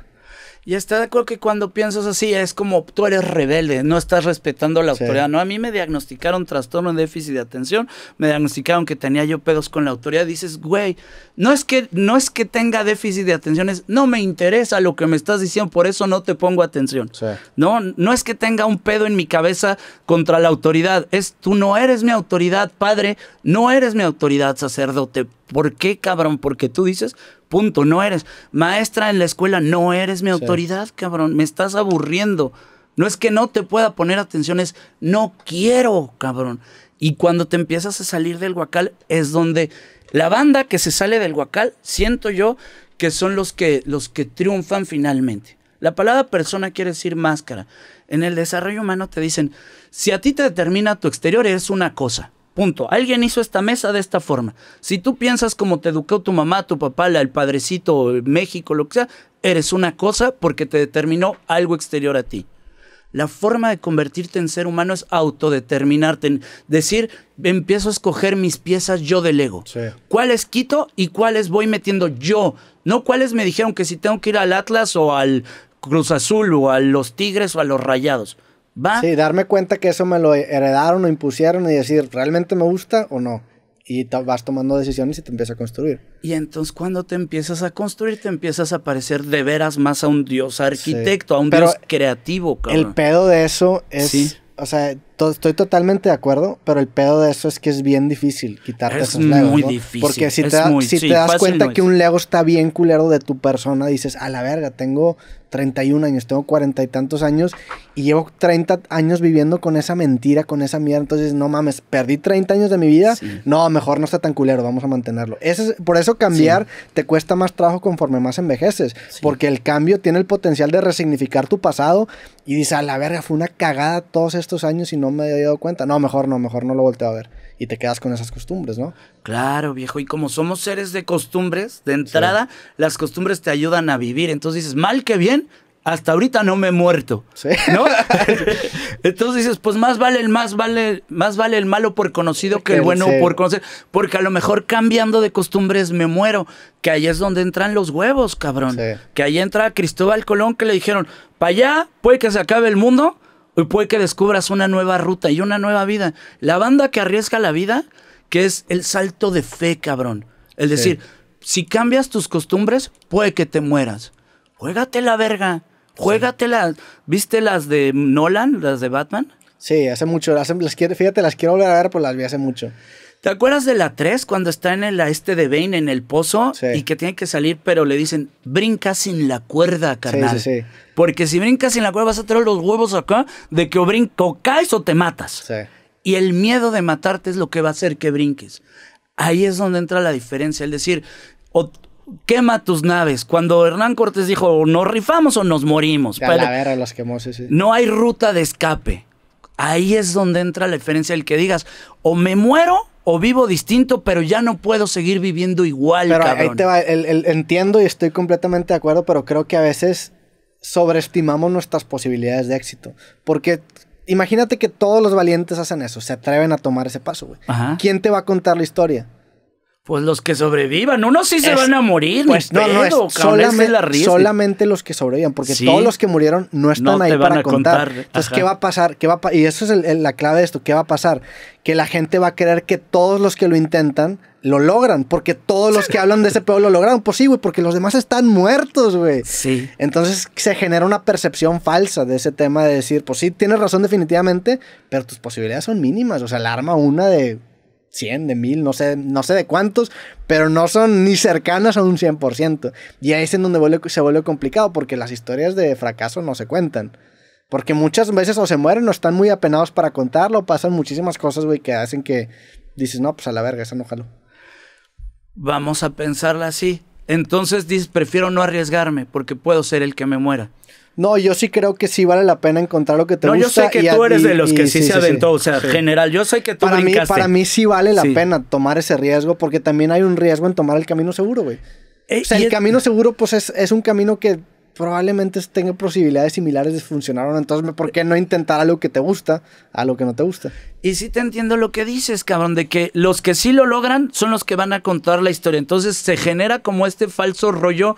Sí te entiendo desde hace rato el el, cuento charro, fácil y barato del manifiesta tu realidad como si fuera cualquier pendejada y tú puedes lograr lo que quieras soñando. No, no es cierto. No puedes lograr lo que quieras soñando. No, estamos de acuerdo en eso. Y que la banda que logró lo que quieras soñando de repente va a malinformar porque estos lo hayan logrado. Te la entiendo perfecto. La pongo. A mí me gusta mucho el rock, cabrón. Si tú piensas que tú eres Ozzy Osbourne, que Ozzy Osbourne la libró metiéndose todas las drogas y todo el chupe, pero su bioquímica estaba muy hecha para el reventón. Entonces tú dices, ese viejito la logró, yo también. Entonces, y te, te, lleva la verga, Exacto. A la verga, no la cuentas. No la cuentas, cabrón. Es mucho más probable que seas de los 22 millones de pendejos que se murieron bien pedos con cirrosis o, o con sobredosis. No, es como si tú entrenas fútbol, lo mismo que entrenó Messi. Pues no vas a ser Messi, güey. Messi, Eso. definitivamente entrenar te va a ayudar, pero no vas a ser Messi porque ahí sí hay un, un talento biológico natural que él tenía, que lo hizo llegar a ese punto en donde por más que tú entrenes no vas a llegar ahí, güey. Estoy completamente de acuerdo contigo. Y aquí entra un pedo, eh, no un pedo, entra, creo yo, que el viaje. Hicieron un estudio de cuál es la emoción que más fuerte vibra. ¿Va? No te sé explicar cómo dividían la vibración de las emociones. cómo determinaban vibración. La que más fuerte vibra no es el amor. Cuatro mil veces por encima del amor es ser tú mismo los momentos que eres congruente y dices, esto soy. Ya. ¿Sabes? Tiene sentido, porque la manera en la que yo percibiría el ser tú mismo es volverte mucho más consciente de lo que estás haciendo y quitarte los pilotos automáticos. Entonces tu cerebro tiene más actividad. Me imagino que esa es la manera en la que miden la, la vibración, güey. Y entonces vámonos como a la corrección del pasado, sin tanta mamada, la pura aceptación. Sí me quedé huérfano, ya, sin mamada, ¿no? Y las cosas que haya hecho, ¿no? Sí viví adicciones, sí caí por alcoholismo, le robaba lana yo a mi mamá, sobre, sí. Perdí una pareja con la cual vivía yo por tal, perdí todos mis amigos, sí, sin más choro, sin más decir, y si lo hubiera hecho distinto, sin culpa, la pura aceptación. Y de ahí irme a la aceptación del momento. Decir, ahorita soy un count de 48 años, canoso, jorobado, pie plano y que está platicando con Roberto Martínez. Aquí estoy estoy ahorita en Monterrey, no estoy en, Noruega, no, estoy aquí. A la pura aceptación, y ahí es donde creo que empieza a entrar el, el despertar, cabrón, el decir, esta es la vida que estoy viviendo. No tendría, no me tocaría otra. No me tocaría haber vivido mis relaciones de pareja diferentes. Así fueron y todas y cada una dejaron una experiencia y una lección no tendría yo que haber sido mejor novio o lo que sea, cabrón. Así fue. Porque la experiencia no es ni buena ni mala. La experiencia es la experiencia, lo que es Dios tú. Así como el universo está siendo, a mí me toca estar siendo. Sí, y llegas a esta idea pues digo, esto lo hablaban desde la, pues, la predestinación de Edipo, ¿no? De que estás programado. O sea, la manera en la que le quitas quizá un peso, un error de tu pasado, es decir, es que no había manera que lo hiciera diferente, porque las circunstancias se alinearon y no había otro resultado posible. Digo, ahí, ahí entras el concepto de vivimos en un universo determinista, de que todas las circunstancias determinan un resultado o tenemos libre albedrío o no. Pero si eres determinista en ese sentido, si pues no hay una manera en la que lo pude haber hecho diferente. O sea, esa decisión no había otra manera de tomarla y no había otra manera de pasar porque las circunstancias fueron tales que eso era el único resultado posible. Entonces lo que empiezas a hacer es decir, bueno, si, si eso era el único resultado posible no tengo por qué sentir culpa. Y te empiezas a quitar un poco esa culpa y empiezas a, a darte cuenta de que solamente te puedes preocupar por cosas que tú puedes controlar. Entonces llegas lo más preparado a la siguiente decisión, haces lo mejor que puedes y dices, pues si jaló, chido, si no jaló, pues fue lo mejor que pude haber hecho y aprendes y aprendes y todo es mejor intentándolo. Y a lo mejor llegas, a lo mejor no. Esa es, la, esa es la realidad. A lo mejor llegas, a lo mejor no. Pero yo sí, yo sí creo que ese proceso de estarlo intentando es un proceso chido. Es una vida bonita. Y vale la pena. Y ahí es donde transformas tu realidad. Te la cuento desde acá. Yo siempre me conté la historia de yo huerfanito y me quedé solo y tal, tal, tal. Ahorita está vendiendo mi mamá su casa y fui a despedir la casa donde crecí toda mi orfandad, donde me conté un cuento horrible. Y me lo empecé a contar de otra forma, de no mames, que a toda madre que tuve una casa, que a toda madre que mi mamá fue chida, que había un jardín, tenía yo mi prima con la que jugaba, tenía mis muñequitos. Ya transformé mi pasado en otra cosa, cabrón. ¿No?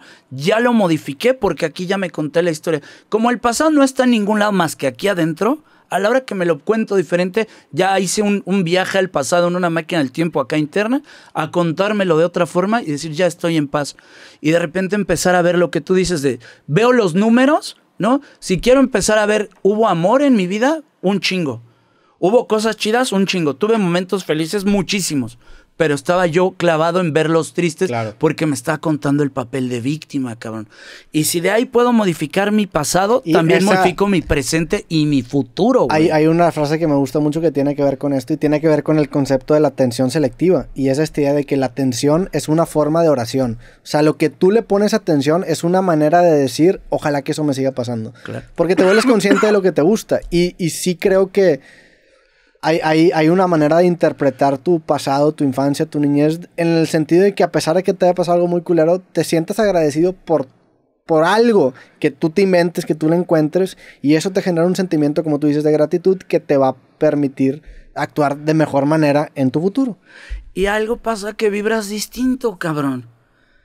Sí, tu algoritmo cambia. Yo cambié mi algoritmo porque decidí, dije, ya, o me mato o vivo chido. Viví, mi prima Count se acabó suicidando por una historia de mucha codependencia con su familia, ¿va? Cuando veo que mi prima tuvo los huevos de matarse y la encuentro yo así, balazo, cabeza, tal, tal, dije, ella sí tuvo los huevos. ¿Tú la encontraste? Sí, dude. A la verga. ¿Los tengo o no los tengo? Entonces, si no me voy a matar, me toca vivir. Y si voy a vivir, voy a dejar de vivir como victimita, chilloncita, ¿va? Y empiezo a vivir bien. Primera parte, hacer las paces con el pasado. Así fue, así sucedió, chido. ¿Dónde hubo amor? ¿Dónde hubo alegría? Ya no me lo cuento. A la hora que dejo de contarme que yo fui víctima del mundo, me dejo de contar, soy un personaje víctima. ¿Vivo bien, sí o no? Sí, siempre he vivido bien. Siempre he vivido en abundancia. Mi mamá se rifó y lana hubo, cabrón. Empiezo a, a quitarme el papel de víctima y digo, ahora toca manifestar cosas, ¿sabes? Regreso a la plática del principio después de toda esta vuelta. Hace tres semanas estuvo larga. Hace tres semanas dije, quiero dar un brinco en la carrera. Y me puse a pensar, ¿quién me puede ayudar? Necesito un escaparate más grande porque mi escaparate es, pequeño y quiero, necesito un escaparate más grande. Y dije, Roberto Martínez es el escaparate. Ese es el bueno. Y lo manifesté. Estoy ahorita aquí contigo, Kaun me preguntaba... Yo te, dije, o sea, yo te tenía en el radar porque habíamos convivido en Twitter hace algunas semanas, unos meses, ¿no? Hace, hace ratito me acuerdo que, que habíamos, no sé si hablaba en Twitter y te tenía en el radar, pero yo creí que vivías en Monterrey, güey. Y te, te comentaba que este año estuve la mayoría del tiempo en Ciudad de México y he venido a Monterrey muy poquito. Entonces me te tenía en el radar y luego este que vine dije, a la verga, pues voy a decir, este güey ya, tenía rato queriéndolo invitar. Y te, te, mandé el mensaje creyendo que tú vives en Monterrey, pero vives en León, güey. Que ahí entra lo que dices tú, la multifactoriedad ¿no? Para que esté yo acá, que de entrada tú pensaste que yo vivía en Monterrey. Luego te voy a decir algo que estuvo muy curioso. Yo, es muy raro que vea los DMs de Twitter, porque normalmente los DMs de Twitter que me llegas para mentarme la madre y ya. sí, yo también DMs de Twitter, la verdad es que es rarísimo que güey. Pero ese algo me vibró y donde voy viendo tu DM y le hablé luego, luego a mi esposa, dije, Jessica, me acaba de escribir Roberto Martínez. y tengo tres le había dicho a ella. Sí, dude. Porque era, o sea, lo. ¿Cómo te digo? Cuando decidí, quiero que ya me vaya mejor, cabrón. La persona así clarita que viajé, ¿quién me va a ayudar a dar un brinco? Eras tú, cabrón. Porque la audiencia de este cabrón está en estos temas. A este cabrón le gustan estos temas. ¿No? Y el nuevo rollo que traigo en lo que estoy haciendo en YouTube son estos temas. Sí, te- tienes un podcast monólogo, ¿no? Simón, Este, ¿ese cuánto lo ¿Hace cuánto lo empezaste, güey? ese... Ya llevas bastantes capítulos, ¿no? ¿Cuántos tendremos ya, cabrón? Se llama Te lo cuento de otra forma. Yo creo que ahorita hay como unos 20 Ok. trepados, cabrón. ¿Y ¿no? Y son estos temas, Sí. tal cual. Pero son puros temas. ¿A, a qué, o sea, ¿a qué te refieres con, con este tipo de temas? ¿Temas de. de. de, de qué, güey? Yo creo que el fondo O es sea, filosóficos en cuestión de vamos a. a Filos- cuestionarnos cosas. filosóficos prácticos. Mm, Ya. ¿No? El, el mafufear a lo pendejo. Sí. Estaba viendo hace rato un Instagram que decía, ¿cuántos videos motivacionales ves? ¿Y a qué hora dejas el teléfono y te pones a hacer algo? Simón. Entonces dices, si estás nomás viendo videos motivacionales y no dejas el teléfono para hacer algo, no estás haciendo nada. Te estás Sí. haciendo pendejo. No te están sirviendo de nada. Entonces, la idea del, del podcast de Te lo cuento es sí filosofar, pero siempre buscar aterrizarlo en algo práctico. Claro. No dejarlo en, en mafufés. Sí. ¿No? Y sobre todo te voy a decir algo, mi tema son las adicciones. Yo pienso que dentro del espectro de rollo de cada quien tienes un tema como, como más constante. Sí, un Y- tema medular, un tema así. Sí, tu tema medular y yo las adicciones he encontrado que son el mío. Y en adicciones hay un chingo de desinformación para los dos lados, cabrón. También cuando ya llegas al mundo de AA, de repente entras en, en algo bien retrogradota. No digo que todos los grupos ni todos los padrinos, pero hubo una mano obscura en AA mexicano. AA llegó aquí por el ejército. Entonces ya desde ahí hay... Doble A llegó por el ejército. ¿por a qué? México, cabrón. ¿Por Fue el, el primer grupo de AA mexicano lo tenía el ejército. Pero por, por personas del ejército que eran alcohólicas. O, Ajá. ok, Sí. había alcohólicos en el ejército y eso creó doble A. Ah, no sabía, güey. No tenía Sí, ni idea. pero el de México, pues, Ya, o sea, no, no el gringo. Sí. Ajá. Qué, qué cabrón que se relaciona mucho también el tipo, este tipo de adicciones con ese tipo de profesiones, ¿no? O sea, incluso en, en Estados Unidos hay, hay estudios de violencia familiar que, que crece muchísimo si el esposo es policía o es militar, güey. O sea, sí está muy relacionado ese tipo de temas a las adicciones, porque te, te vives experiencias que muchas veces son traumáticas. Como los veteranos de guerra en Estados Unidos, o sea, incluso aquí, pues los militares son veteranos de guerra. Y desde, desde el mismo institución, viejo, pues a toda la banda en Vietnam, eso les daban heroína, y Sí. etcétera, ¿sabes? O sea, es- no es solo los traumas, sino es métete Sí. algo para que te vas a partir el hocico. La- Piénsalo a, desde los los, nazis, a- vikingos, a, los güey. nazis les eran, que decía que le daban speed, ¿no? O era, no, no, una, una droga, que no sé si, no, no sé qué droga era, que según yo era speed se llama. Ok, ok. Pero, pues sí, obviamente te alteran, te lavan la cabeza, te hacen creer que el otro vato es el, el enemigo, el diablo, y, y te, pues te lavan la cabeza, güey. Los Eso cuando, y vikingos- luego intentas regresar a la sociedad normal y dices, a la verga, ¿qué es esto, güey? ¿Cómo, ¿Cómo regresas a la sociedad normal después de algo así? ¿Cómo traduces con los legos que acá empezaste Sí. a crear tu realidad? ¿Cómo traduces esta realidad? ¿Cómo las empatas? Son dos mundos bien distintos, cabrón. Sí. Ahí empiezas a dividir multiversos. Piénsalo, de veras, ya son dos mundos Sí, que se, se separaron bien fuerte. Y por eso cuando regresan están tan alienados, porque ¿cómo le explicas a alguien que nunca ha vivido eso lo que viviste? O sea, entonces, ¿cómo vuelves a ver con los mismos ojos tus tareas cotidianas cuando hace algunos días estabas viendo gente muerta por todos lados? sea, es, es duro. Definitivamente es, es bien difícil de regresar a la realidad. Y eso puede desencadenar adicciones, ¿no? Sí, claro, viejón. Es que mm, las adicciones son como bastones. Adicto quiere decir esclavo. Te haces esclavo de un bastón que utilizas para enfrentar tu cotidianeidad, ¿no? Y el rollo es que de repente llega un momento donde ya no lo necesitas, pero lo sigues usando. O entran herramientas chuecas. Vamos a pensar, por ejemplo, la coca sirve para que trabajes en alturas recias. Es para los campesinos trabajando en, en montañas, ¿no? ¿Qué te lo tienes que estar metiendo en un antro? Estás pendejeando, no mames. Estás- ¿Qué es tu chinga? Que estás moviendo el culo, no mames. Sí. Eso es para putizas, no para pendejear, cabrón. Sí, sí, ¿no? sí. La misma ayahuasca que ahorita está de supermoda. Esas madres para que entiendas la selva del Amazonas, cabrón. Sí, no, o sea, el, el DMT es para la raza que se está muriendo, güey. O sea, es para la raza que está a punto de morir. ¿Qué verga te estás metiendo, pinche mamada, que, te- que solo vas a experimentar cuando te estás muriendo? Y por eso tienen efectos tan, tan cabrones. Claro, porque estás utilizando las herramientas en momentos Sí, pero esa- equivocados. exactamente, la herramienta no era en ese momento. ¿no? Ya la Sí. usas, la usas, la usas, la usas. Sí, y entonces te haces esclavo porque crees que esa es la herramienta que va a resolver, ¿no? Sí, Pero está interesante porque incluso la misma pornografía también es usar tu herramienta todo el tiempo y te vuelves adicto, güey. Viejo, la fama hace adicción, cabrón, el juego, hay tantas cosas que hacen adicción bien fuerte, ¿no? Y y uno no, no se desidentifica. Por lo mismo, cabrón, yo creo que el gran pedo es, ante la pregunta ¿quién soy yo? no hay respuesta. Entonces, siempre estamos en el constante conflicto de, yo a partir de mis cinco sentidos veo que no soy ni el árbol, ni las estrellas, ni nada, soy esto. Pero ¿quién es esto, cabrón? Soy el que era hace rato que estaba caminando, soy el que estaba enojado, soy el, el que buleaban, soy el yo del futuro que tendrá un chingo de éxito o no. ¿Quién soy? Como no hay respuesta, Sí. ahí nos empieza a entrar el yo te voy a decir quién eres. Yo, padre católico, te voy a decir quién eres. O yo, Netflix, te voy a Sí. decir quién eres. ¿no? Claro, sí, es una, es un área en donde se presta mucho para aprovecharte de las personas porque no tienen una respuesta mejor.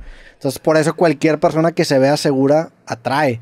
Porque ese vato sabe. Cuando realmente no sabe. O sea, la realidad es que el Chile, güey, somos un puto escombro en el universo. O sea, ¿qué verga vamos a saber de lo que realmente está pasando? No sabemos, nadie sabe.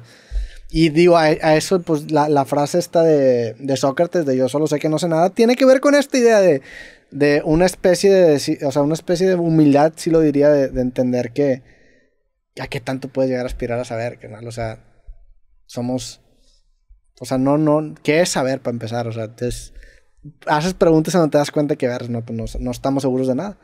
Y la gente que cree que, o que te, que no cree, que, que te hace pensar que, que sí está segura, a ti te atrae porque, bueno, pues él, él sabrá. Y esa es la ignorancia, güey. O sea, es, es, manipula es manipulación 100%. Piénsate de niños. Los niños tampoco saben, pero les vale madres. Sí. No se están angustiando por querer aparentar algo. El, el niño es el momento. Tengo unas hijitas, son gemelas. Y con ellas entendí el vivir en el aquí y el ahora muy cabrón.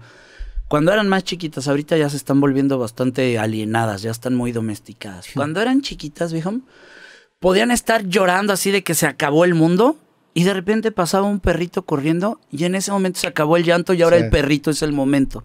Entonces es la, la persona triste que yo era hace un segundo ya no existe. Soy la persona alegre correteando al perrito ahorita. Y si de ahí, después del perrito, me encuentro un árbol, la persona correteando al perrito ya no existe. Ahora Sí. me trepo al árbol. Soy la persona en el árbol. Es puro, soy ahorita. Sin Sí. cargar resentimientos, sin cargar culpas, nada más ahorita, ahorita, ahorita. Y yo, yo creo que lo que acaba mandando a la verga todo eso, porque sí estoy de acuerdo contigo, y esa es la manera en la que los animales, por ejemplo, exper- experimentan. Un Claro. perro nunca tiene un lugar a donde ir. O sea, tu perro va para la izquierda, no es como que, ah, sí, va a, a trabajar. No mames, es un Exacto. perro. Pero eso creo que empieza a cambiar para el humano cuando empieza a desarrollarse cognitivamente y se empieza a dar cuenta que se muere. O sea, empieza a dar cuenta que se va a morir. Entonces Sí. dices, a la verga, ¿no? Pues ya no voy a estar haciendo esto tanto tiempo. Sí. Y empieza a generarte ciertas preocupaciones. Sí. Y empieza también a pensar en esa pregunta y como que la pregunta te abruma y dices, no, ahorita no, vamos mejor a, a- a comprarnos ciertas historias que me solucionen ese pedo, como lo es la religión, como son las, pues cualquier tipo de personas que te venda respuestas fáciles a una pregunta muy, muy compleja, ¿no?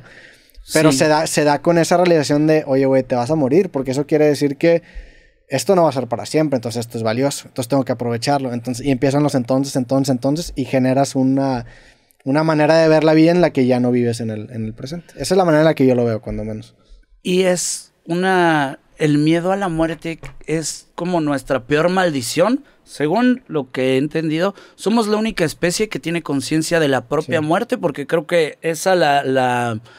¿Cómo se dice? La procesas en el óvulo prefrontal, que es donde está el ego. Y nada más tiene el óvulo prefrontal más que nosotros. Los, los animales no tienen ego, no tienen yo. Y nosotros tenemos si el yo existo.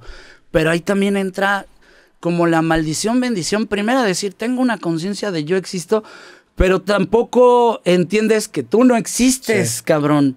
Porque regreso a lo mismo, ¿qué eres tú? No, eras un chingo de cosas. Eres todas las frutas que te has comido, todas las enchiladas que te has comido. Todo eso eres y a la vez ya no eres. Cuando dejes de existir, regresa todo. Vuelves a ser energía, toda la energía. Ahí te va una idea bien loca, cabrón, que hasta ahí entra esta parte como oscura.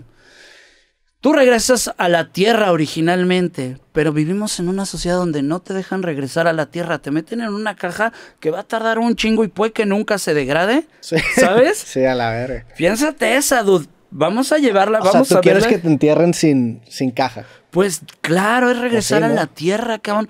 Y es regresar a ser estrellas. ¿no? Sí, Digo, la caja también es parte de la estrella, pero sí se ve más cabrón que si te vayas a la tierra, no hay que salga un arbolito y la verga. Claro, ayer es ciclo de vida otra vez, cabrón. Sí. Piénsate esta, esta es muy obscura. Los santeros, que hay algo que, hacemos, que hacen que son a la verga, que sacan cuerpos de los panteones y tienen un, un muerto ahí, lo tienen atrapado. ¿Ok? Sí. Ese es un proceso entero que dicen, tienen literalmente un cadáver A la allí verga, sí. agarrado. ¿Ok? Y dices, ¿Cuánto tiempo lo tienen? Pues es su, no me acuerdo el nombre que le dan, pero para toda la vida. Y ese muerto es su esclavo. A la verga. No sabía eso, güey. Parte de, de- de la brujería es agarro a mi muerto, que es mi esclavo, y te lo mando a estarte chingando. Ok. Y lo tienen ahí. Sí, sí. o sea, tienen su cuerpo ahí. Sí, A la verga, no sabía eso, güey. Sí, O sea, cabrón. y, y, eh, lo están mandando como a gente a chingar a gente. Sí. A la o sea, es un, es un, es un muerto bajo... es- no sabía que eso era la manera en la que, en, la, en cómo funcionaba o se basaba la santería, vaya. Sí, así la- o sea, para, para poder ser que es un brujo, Sí, para hacer. No, tienes que tener un muerto. Babalao, no o sea, sé los tienes que, ten- tienes que tener un muerto. Sí, dude, y esto es clavo, ese muerto. No mames, no sabía eso. Ahora piensa Sí, está cuántos, inmenso ese pedo, ¿eh? cuántos tiene un panteón. Y tienen un ejército. Exactamente. ¿Cuántos tienen los nichos en las iglesias? O sea, Tienen es- un esa es la razón por la cual están en los cementerios. No se asocia como esa... Los tienes ahí de tus pendejos, cabrón. Nunca, o sea, nunca he hecho esa conexión, pero qué cabrón, qué interesante. Está loca, o sea, si la piensas sí. con maldad, está Claro. bien densa, güey. ¿No? Porque ahí tienes un ejército de esas cosas, cabrón. No, ma- ¿Y has conocido gente así? ¿Santera? Ujú. Sí, dude, el, no topas al O sea, santera Oscar. que tengas... Te voy a contar otra, que igual suena jalá, pero... ¿Topas a mu- el muerto Oscar Galván, el que era escolta de Franco? Mm, sí, sí sé quién es. Ok. Una vez me quedé a dormir en su casa y yo oía que alguien caminaba. Él tiene un, un esas más. Y yo oía que alguien caminaba en su casa toda la noche. Y al otro le dije, muerto, no mames, no me dejaste dormir. Tienes, que, tienes chincuales en el culo. Dijo, no mames, yo estaba dormido bien tranquilo. ¿De qué hablas? Dijo, te oí caminando toda la noche. Me dijo, ah, es mi esta. Como sea, creo que le llaman prenda. Ok. ¿Va? Fue este güey. Pero es mi prenda. O sea, el- su, Su- su muerto. Su muerto. Órale, güey. Y dije, ay, sí, mi huevo, sí, pendejo. Me vuelvo a caer en su casa otra noche y otra vez empiezo que están caminando y salgo para decirle, ya, hijo de puta. Y estaba dormidito en su cuarto ese güey. Y ya no me volvería a quedar con él a la verga. Ay, ya no me No quedé mames, nunca más, sí. cabrón. Y se oía machín, cómo caminaba, abría puertas, hacía cosas. güey? ¿Qué tendrá? Como cinco o seis años. Ponle como cinco años más o menos, viejo. ¿Y era, te estabas quedando dormido en su casa? Sí, fueron dos veces que me quedé a jetear en su casa, cabrón. También hay ruidos de casa, ¿estás de acuerdo? La Sí, ca- las sí, casas hacen casa. ruido. Sí, pero esta lo oyes acá. ¿De acuerdo que aquí en el pasillo de aquí afuera estás oyendo que entran al baño y en- que aquí en O sea, corto, cabrón? a mí sí me ha pasado estar en casa de mis papás dormido y casa de mis papás es, es, pues es una casa que tiene como una construcción gringa que es ruidosa, güey. Ajá. Y de repente sí estaba dormido y escuchaba pasos arriba y iba arriba y no había nadie. O sea, sí me, ha, sí me ha pasado ese tipo de experiencias, pero yo se los atribuyo a son ruidos de casa. Y en últimas, tú defines tu realidad. Sí. Si, tú decís, si tú dices son ruidos de casa, son Sí. ruidos de casa. Sí. ¿Estás de acuerdo? Ahí es donde pienso que sí manifestamos nuestra vida. Te entiendo lo que dices, no está tan de volada como que manifiesta y ya te pasan un chingo de cosas. Sí tienes que, que merecerlo. Sí. ¿no? En donde decíamos, llega un punto donde duele. Cambiar tu subconsciente duele y duele cabrón y va a haber veces que a lo mejor tienes que chillar y chillar de frustración, decir, creí y cosas culeras, el decir, por ejemplo, creí que mis papás me amaban incondicionalmente y me doy cuenta que hubo cosas que no estuvieron chidas. Hubo cosas, vamos a pensar, por ejemplo, que el papá te dijera, tú querías ser músico y el papá te dijera, estudia una carrera, cabrón, y luego ya eres músico y le echa. Y de repente te das cuenta que dices, este cabrón me hizo perder el tiempo. Me obligó a algo que yo no quería y yo quería ser músico. ¿Qué chingados tenía que estar estudiando derecho? Pero tam- también entiendo eso, pero bueno, cuando menos mi manera de verlo siempre ha sido de... Creo que lo hicieron con la mejor intención, güey. O sea, Eso es siempre. es- Siempre. o sea, e- e- ellos era lo que para ellos creían que era mejor. Como yo creo que algo es lo mejor y seguramente si tengo un hijo, pues no, a lo mejor no va a ser lo que esa persona quiere, pero lo hacen con esa buena intención. Y para mí, crecer y conciliar esa parte con que puedes llegar a tener con un padre o con una madre, es decir, Pues ellos hicieron, hicieron lo que ellos creían que eran correcto. Hay una novela de, de un güey que se llama Orson Scott Card, que se llama Ender's Game. Eh, y sacaron una película hace, hace, poco, pero hay como cuatro libros. Y la primera película está como muy, pues muy comercialona, es una película muy normal, pero ya el libro 2, 3 y 4 se pone bien denso. O sea, tienen implicaciones filosóficas muy cabronas, viajes interespaciales, este, conciencias colectivas. Está muy cabrón ese pedo. Eh, y, en, y, en, uno de los libros, ya de los últimos, se llama Speaker of the Dead, este, o Hablador de los Muertos, ¿no? Y se trata sobre cómo este personaje eventualmente se convierte como en una especie de, de apólogo o apologético de, de, los muertos. Y él se basa en la premisa de que el odio es el amor sin los datos suficientes. O sea, cuando tú llegas realmente a entender a una persona, no lo puedes odiar, porque otra vez te das cuenta que esa persona tuvo que haber hecho eso porque no había otra alternativa, era lo que tenía que haber pasado.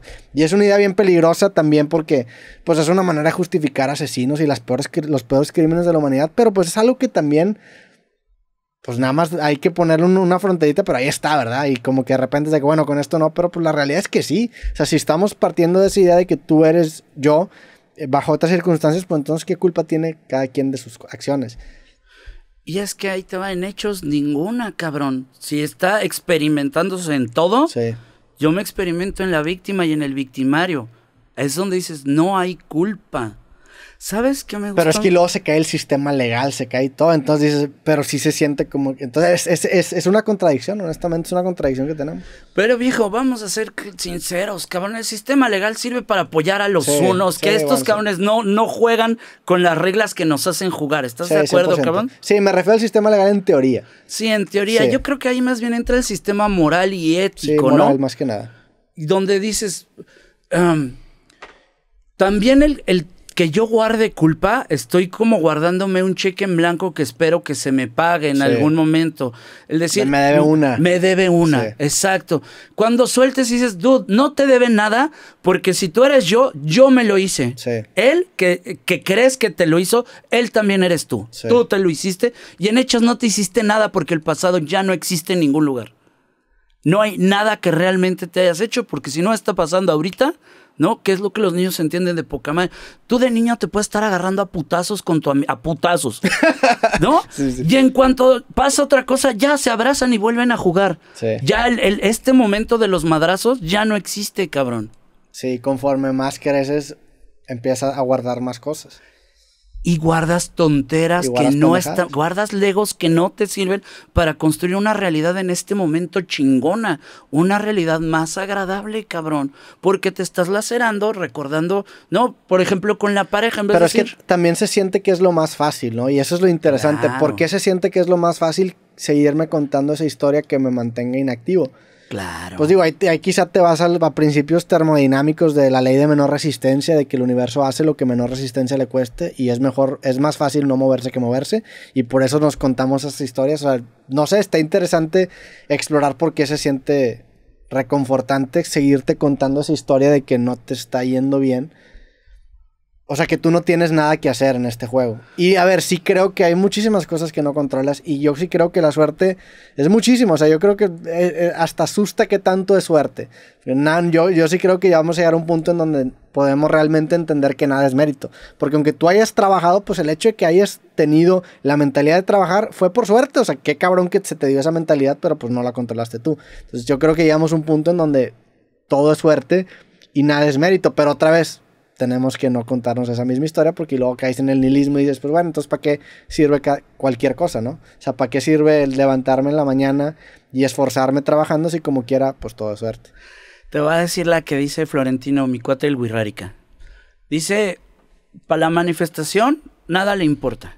Le da igual que seas millonario, que seas pobre, le da exactamente lo mismo. Nada más que dice, si tú quieres ser millonario, tú solito vas a generar como cierta resistencia para que cuando lo logres lo aprecies más.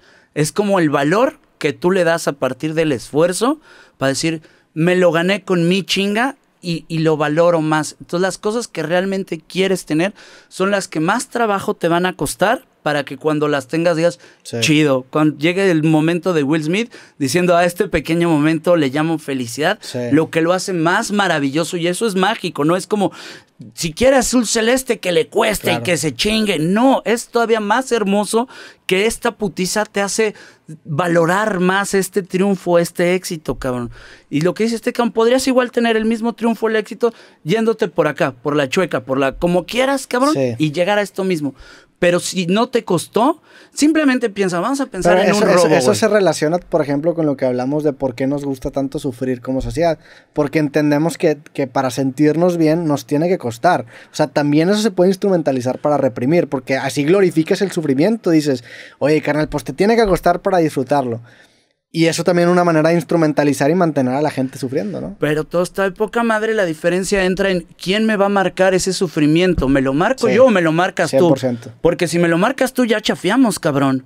¿No? Pero si me lo marco yo, chido, está bien, güey. Pero luego ahí te das cuenta de qué es marcármelo yo. O sea, por qué, por qué, por Ajá. qué creo yo que eso es el camino y no. Y te empiezas a dar cuenta que son por cosas que no controlaste y cosas que realmente están ahí porque te tocaron vivir. Entonces llega ese punto en donde, ah, la madre, pues todo es suerte, güey. Porque llegas al punto en donde dice, el hecho de que me esté cuestionando esto fue suerte.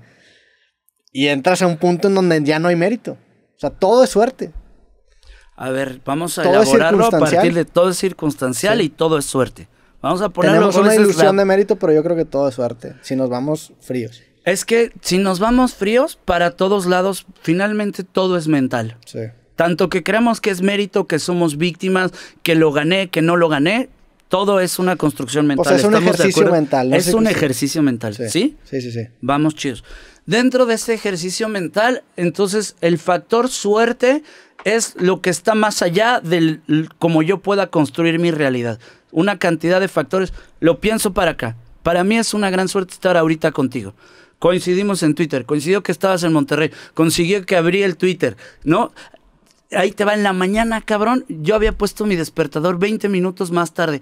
Gracias a Dios me desperté 20 minutos más temprano y dije, ay, ya me voy, porque en el aeropuerto había un desmadre. No, si me he o sea, despertado. perdido el avión a la verga. Sí, te lo juro que verga. sí, cabrón. Va, entonces, sí voy entendiendo. Pasaron, ¿por qué me desperté más temprano? Por suerte. Sí. ¿No? ¿Por qué me escribiste por suerte? El hecho de que yo esté aquí es suerte. Lo entendería si no fuera porque hace tres semanas dije, voy a estar con Roberto Martínez. Sí.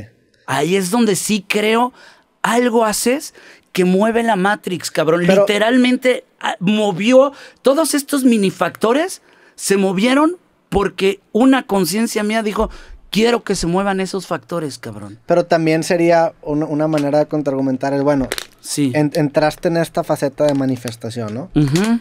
¿Qué tantas cosas manifestaste?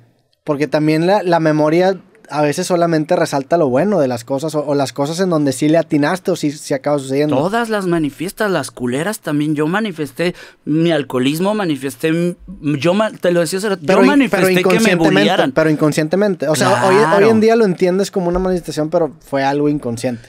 Tu subconsciente manifiesta. Lo, lo peles o no lo peles, esa mierda manifiesta. La onda es que la, la mayoría de la raza está esclava de lo que le fueron dando Mm. de comer a ese subconsciente. Cuando tú empiezas a modificarlo y dices, le voy a dar de comer otras cosas, Sí. vas a vivir otra Sí, realidad 100%. diferente. Pero entra este proceso que dices tú, no es sencillo, ahí es donde estoy muy de acuerdo contigo, el que te la ponen muy fácil en el secreto y el de yo atraigo y yo, no, no, es un pedo. Cambiar tu subconsciente es una tarea cabroncísima y es entrarle y es trabajarla. No es tan Porque es, es otra. convencerte, o sea, y convencerte realmente es cabrón. Exacto, cabrón. Convencerte de a Davis. Y Esto eso es, un- es bien difícil hacer eso. esto es real. Alejandro Jodorowsky traía un rollo de qué tanto es la magia magia o qué tanto es una, un convencimiento que haga que, que cambies un cáncer, por ejemplo. Que, que de veras yo entre a tu subconsciente, que te convenza que ya te curaste y ya no tengas cáncer. Sí. ¿Va? Dice Alejandro Jodorowsky que él estuvo con todos los chamés, con todo lo que quieras. Dice, para mi gusto solo había una real, que era Pachita, con la que también estuvo Jacobo Greenberg. Sí. No, él dice, Pachitas, eso era real. Esa de veras manifestaba ahí cosas, cabrón. De ahí en fuera, todo lo que han hecho ¿Qué los pasó demás- con Pachita? O sea, Pachita, digo, desaparece de Grimberg, Pachita sigue viva, o sea, está... Estaría bien. Sí. Hay que buscar a ¿Dónde- Pachita. Creo que está- a ver, ¿dónde está Checa Pachita? Pachita, cabrón. Esa es la, la pregunta, güey. ¿Dónde está Pachita? Todo el mundo habla de Greenberg. ¿Dónde está Pachita? Sí, cabrón. Pachita, la semana que realizaba trasplantes de órganos de forma milagrosa. Pachita aseguraba que era poseída en- por el espíritu de Tlatoani, Cuauhtémoc, Ujú. lo que le permitía hacer milagros. Esta es la historia de la chamana más poderosa de México. Pero no dice dónde está o no. La fama, de, la fama de Pachita se extendió en la década del, del 1970, cuando a su consultorio en la enigmática Casa de las Brujas de la colonia Roma asi- asistían personajes de todas las clases sociales. Ahí Pachita realizaba cirugías milag- milagrosas que consistían en abrir al paciente con un cuchillo viejo, extraer órganos dañados y colocar uno nuevo materializado a través de un potento. Al final Pachita cerraba la herida simplemente colocando sus manos, tras lo cual no quedaba evidencia del proceso quirúrgico. Pues yo creo que ya no está viva, güey. Si, si fue en la de los 70, estás hablando. Ya fueron hace Ya fue hace un 54 ratotote. años, es un chingo. Pero. Mira, ahí y, venía a a ver, decir algo Jacobo Greenberg. Ajá. también, también lo interesante, Sí. y es, es- o sea, seguramente a- a- en, este, en este mundo y en este nicho del que estamos hablando, en este giro que estamos hablando, seguramente también había raza bien cabrona. Pero a ella le tocó estar en Ciudad de México, en la colonia Roma. O sea, es lo mismo como. Como- es el mismo sesgo de, por ejemplo, de que todas las historias de aliens pasan en Nueva York. Ah, mira qué chingón, todos van a Nueva York, güey. A la verga, todos los aliens dicen, "Eh, aliens". a Nueva York, güey. No mames, vete a la verga. Ahora también resulta, o sea, pasa eso con Ciudad de México, pasa eso con, seguramente a lo mejor en, en algún lugar en Jalisco o en Michoacán, a lo mejor había también una, una pinche morra que era una verga, un vato que era una verga, y como no le tocó estar en Ciudad de México, no tuvo esa, La, sí. la que te contaba de María Sabina, ella fue la que salió en el National Geographic. Pero en Huautla había muchas María Sabinas. La suerte le tocó a ella de que a ella la entrevistaran, pero había muchas. Ella es María ahí. Sabina. Sí, dude. Ella era una curandera que usaba hongos. Sí. Y ya murió. En, sí, ya murió. Mira, María conoció Sabina. a Walt Disney y John Lennon. Ah, mira, sí. ¿Quién Bien. fue María Sabina? La, la curandera que usaba hongos alucinógenos y conoció a Walt Disney y John Lennon. Sí, el, auge qué inter- babas. el auge del movimiento hippie y la publicación de Robert Watson catapultaron la, la, la oriunda de Oaxaca a la fama internacional. Sí. Robert Watson es el que era del... Nació en 1894. No mames, me saca casi 100 años. Reconocida a nivel mundial por ceremonias con hongos, denominados niños santos o Tenonacatl. María Sabina personificó una inquebrantable conexión con los secretos terrestres, obedeciendo una visión ancestral que ha trascendido fronteras culturales y ha fascinado generaciones. Las ceremonias de María Sabina centradas en el uso espiritual de hongos no solo ca- capturaron la atención de estudios y curiosos, sino que también abrieron un portal hacia dimensiones espirituales inéditas. Quiero ver lo de Disney. A los 14 años, María Sabina tuvo su primera experiencia con hongos sagrados, marcada por una visión donde ella recibió el don de la curación. Desde entonces comenzó a celebrar ceremonias conocidas como veladas, donde usaba los hongos para invocar a los espíritus y tratar diversas enfermedades físicas y espirituales. En 1955, Robert Gordon Wasson, quien, quien en ese momento era vicepresidente de JP Morgan, visitó a María Sabina en Oaxaca. Fue de sus obligaciones, fuera de sus obligaciones financieras. Wasson tenía una, una curiosa afición por el estudio de hongos. Tras escuchar acerca de una curandera y guía espiritual de la etnia mazateca, decidió viajar a México acompañado del fotógrafo Alan Richardson, después de leer un artículo de Robert Graves en el periódico de Siva en Nueva York. O sea, este güey hizo, hizo un, un documento, un- una especie de reportaje en la revista Life sobre, sobre ella y agarró fama internacional y por eso empezó a, a traer a, a figuras como tal, como Walt Disney. Walt. Disney. Tal, tal fue su fama que entre las personalidades que visitaron a María Sabina se dice que incluyeron a Walt Disney, a quien habría ayudado a inspirar his- sus historias de fantasía, así como Aldous Huxley, Tim Leary. Este Timothy Leary es un... Es un sí, es, es, es un... Del MDMA también, ¿no? Sí. Bob Dylan, Jim Morrison y Peter Townsend. Soy cabrón, la verdad no ni siquiera sabía todo esto, güey. Falleció el 22 de noviembre de 1985 a los 91 años. Pues que en paz descanse. María Sabina. No, ni- o sea, no, no sabía ni que existía. Y qué ahí- loco que fue, que fue, o sea, qué loco que eso pasó. Ahí entra cabrón lo que dices tú de la suerte. Ahí 100%, porque hay muchas Marías Sabinas en Huautla. Y todas ahorita hay muchas. Curanderas que trabajen con hongos es muy común. Es como decir, no mames, encontré un, un simi en, Sí. en- en el DF. Así. Sí, es un vergo. Hay un vergo, cabrón. Pero la suerte le tocó a ella. Sí. Y que, que es que sí que, que cabrón el, el, el potencial que pueden llegar a este tipo a tener este tipo de sustancias para terapia pues, psicológica, psiquiátrica, porque sí te, te, em, te muestran tu vida desde una perspectiva, una perspectiva cenital y eso te hace entender también la proporción de las cosas y eso es algo que te ayuda a cambiarte a ti, o sea, el hecho de decir, pues si bien esa experiencia me pasó, esta es la historia que me estoy contando, ¿por qué no cambiar esa historia para que tenga una conclusión un poquito más feliz? Y sabes qué, Roberto, que es nuestra herencia como hijos del sexto sol, parte de toda esta sabiduría, llegó el momento donde es, ya nos toca vivirla, cabrón, ¿no? Florentino es Wirra, esos güeyes tienen prohibido eh, trabajar con, nos llaman Teiwaris a los que no somos a los no indígenas. Esos güeyes tienen prohibidísimo acercarse a nosotros porque nos consideran la peor cagada.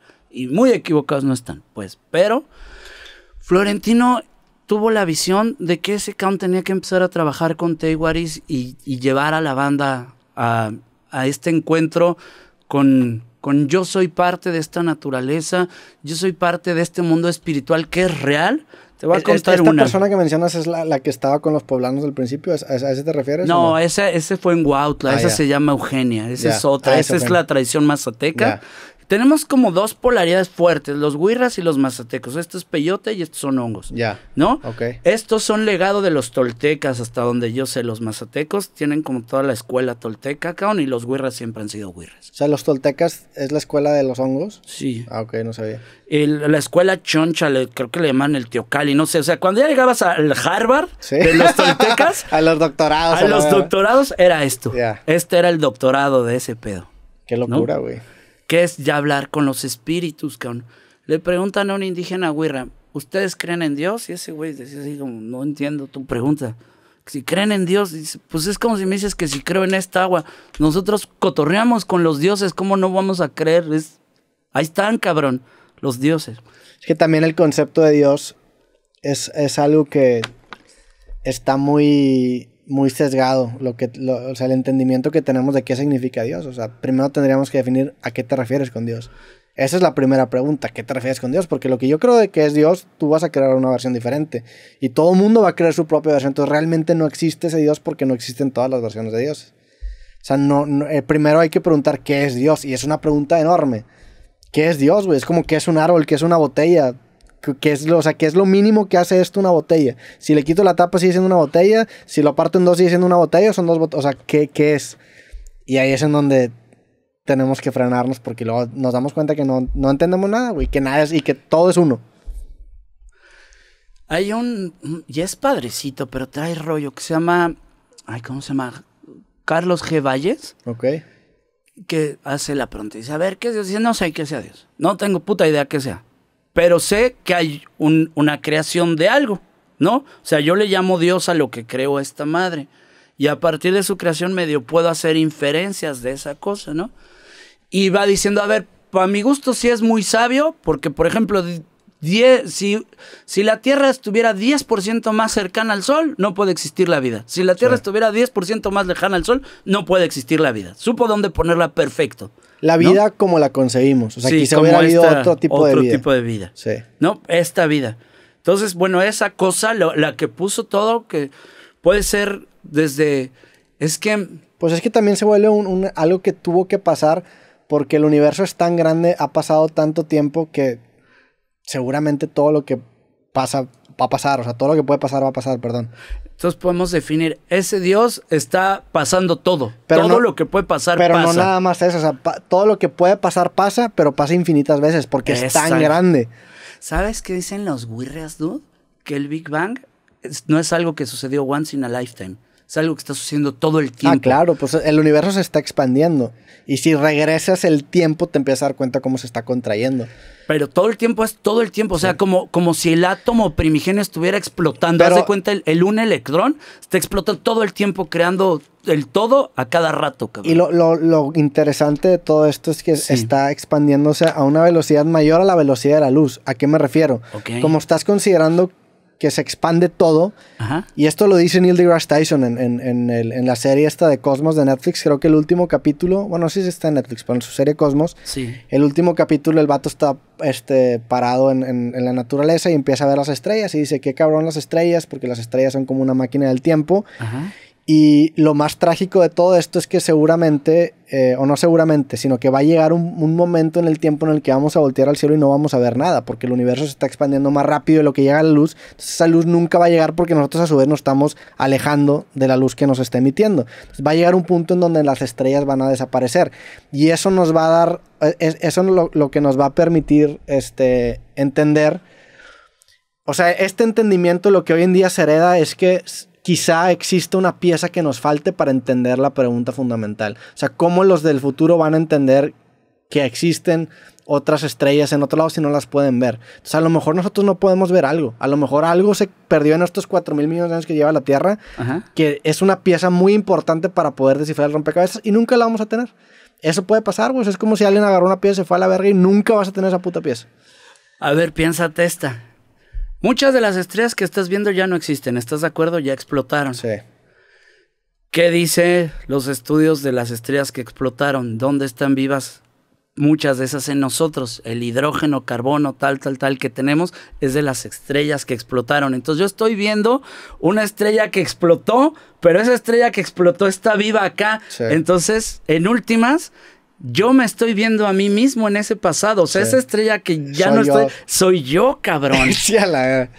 Es, está, Piénsate esa, sí. neta, esa está bien profunda, cabrón. Soy yo esa estrella. Soy yo explotando en otro momento del tiempo. Sí, cabrón. Entonces, en últimas es todo sucediendo al mismo, sí. ¿no? Regresando a llegas, todo sucede al mismo tiempo. Y, y cabrón. llegas a esta idea de que el tiempo, como lo percibe el humano, es algo subjetivo. O sea, claro, el hecho de que el tiempo tenga un pasado y un presente y un futuro es algo que para nosotros es muy importante porque es la manera en la que construimos lo que está pasando y nuestro entendimiento de la realidad, pero no es una, una, un estatuto universal. Eso es, eso es nosotros siendo sujetos, nosotros siendo seres humanos. Pero es como muy Europa, es muy occidental pensar el tiempo lineal. Con sí. las bandas, la, los indígenas y eso lo pensaban como una espiral, como es algo que va para adelante y para atrás.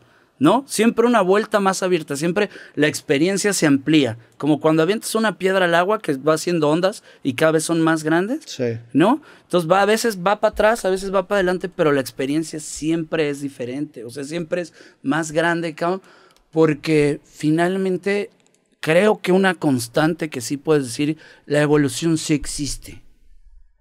Siempre va dando una modificacióncita a las cosas, ¿no? Sí. No, nada es estático.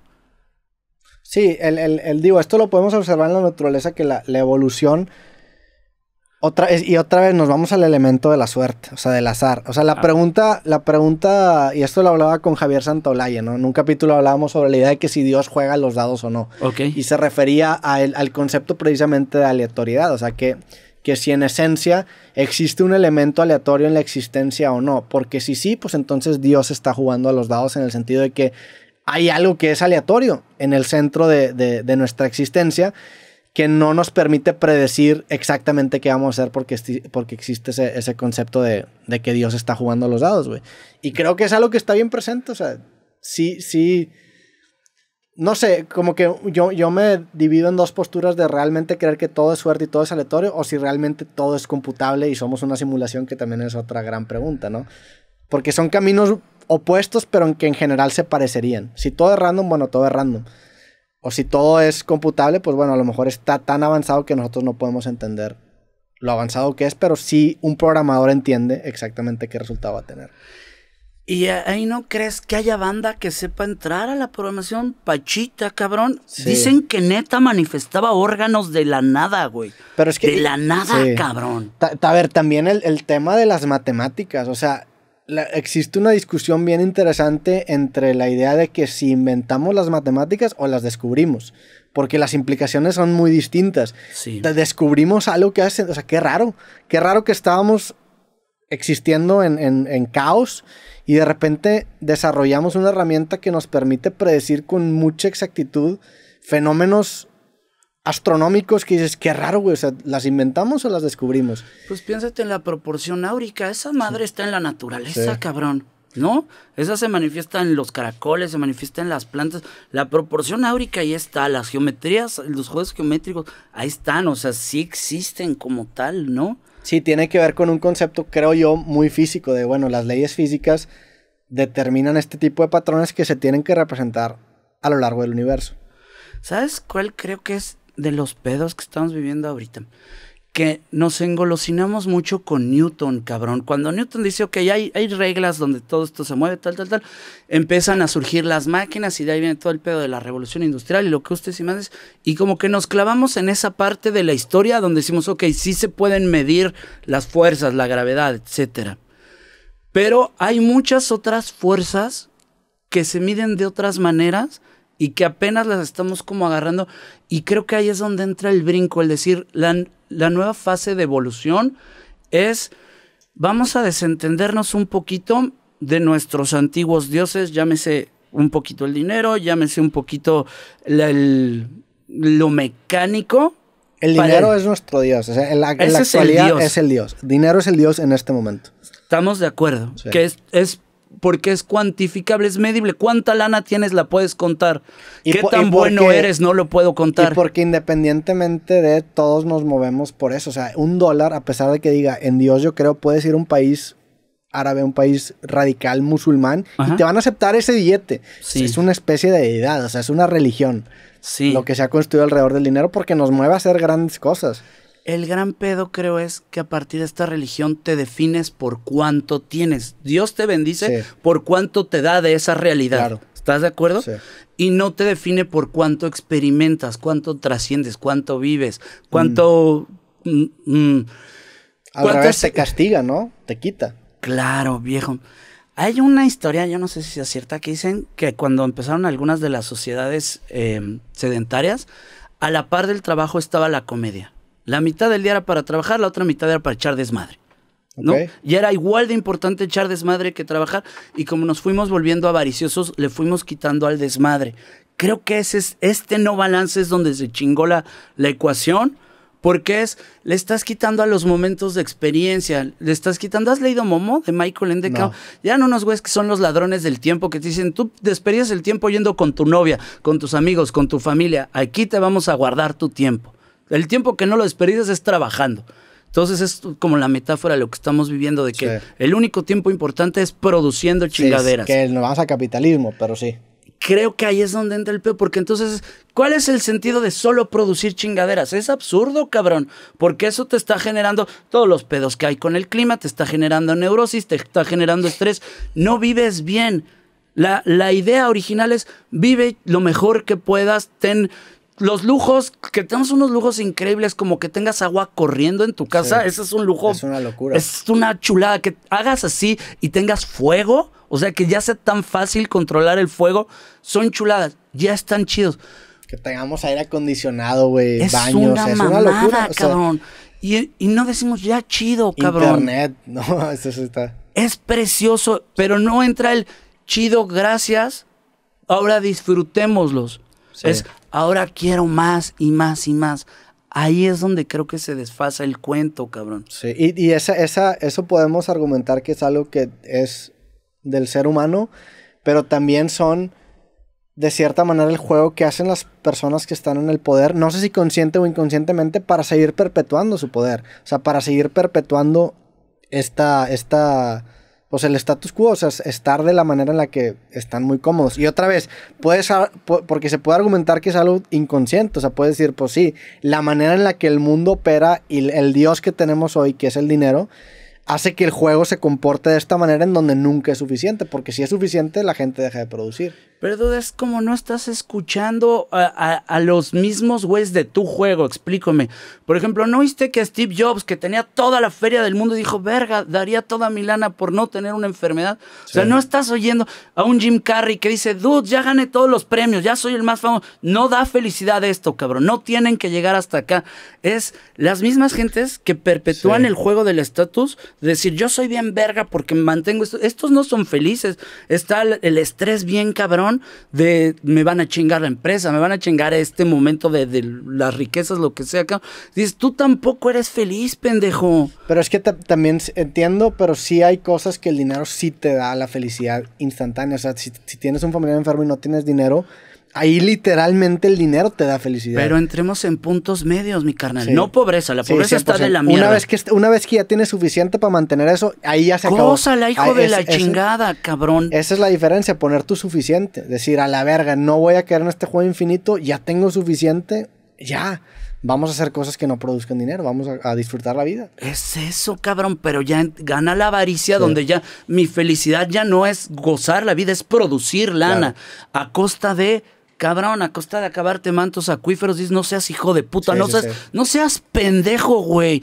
Es, absurdo que te acabes los mantos acuíferos a lo, a lo naco, güey. La, la, la, cantidad de dinero que llegan a tener los billonarios es, es, muy cabrón, o sea, es una locura la cantidad de dinero que es mil millones de dólares. Es una es una locura. Digo, sé que muchos no lo tienen ellos, o sea, no es líquido, es lo que valen sus empresas, pero como quiera, o sea, es, es, una locura.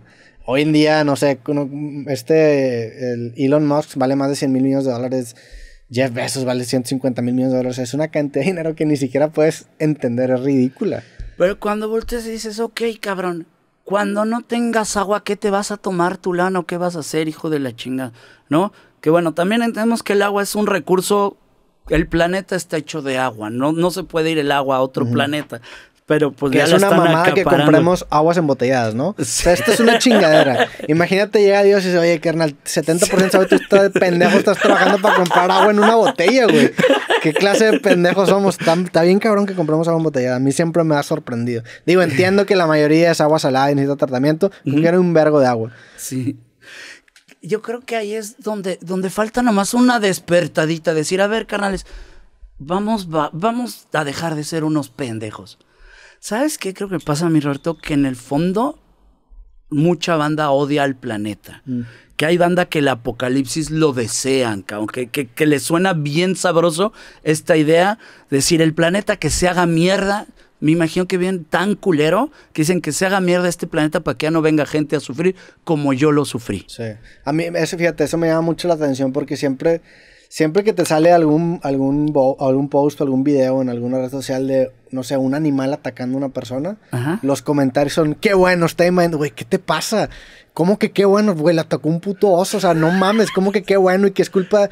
No, independientemente de que estemos en su hábitat, no lo celebras, pero si hay como un qué bueno que por fin se pudo vengar el animal. Tú eres un ser humano. Cuando te ataca un oso, quiero que tú también digas, qué, bueno, que, me, están comiendo. No mames, sí, Me lo merezco.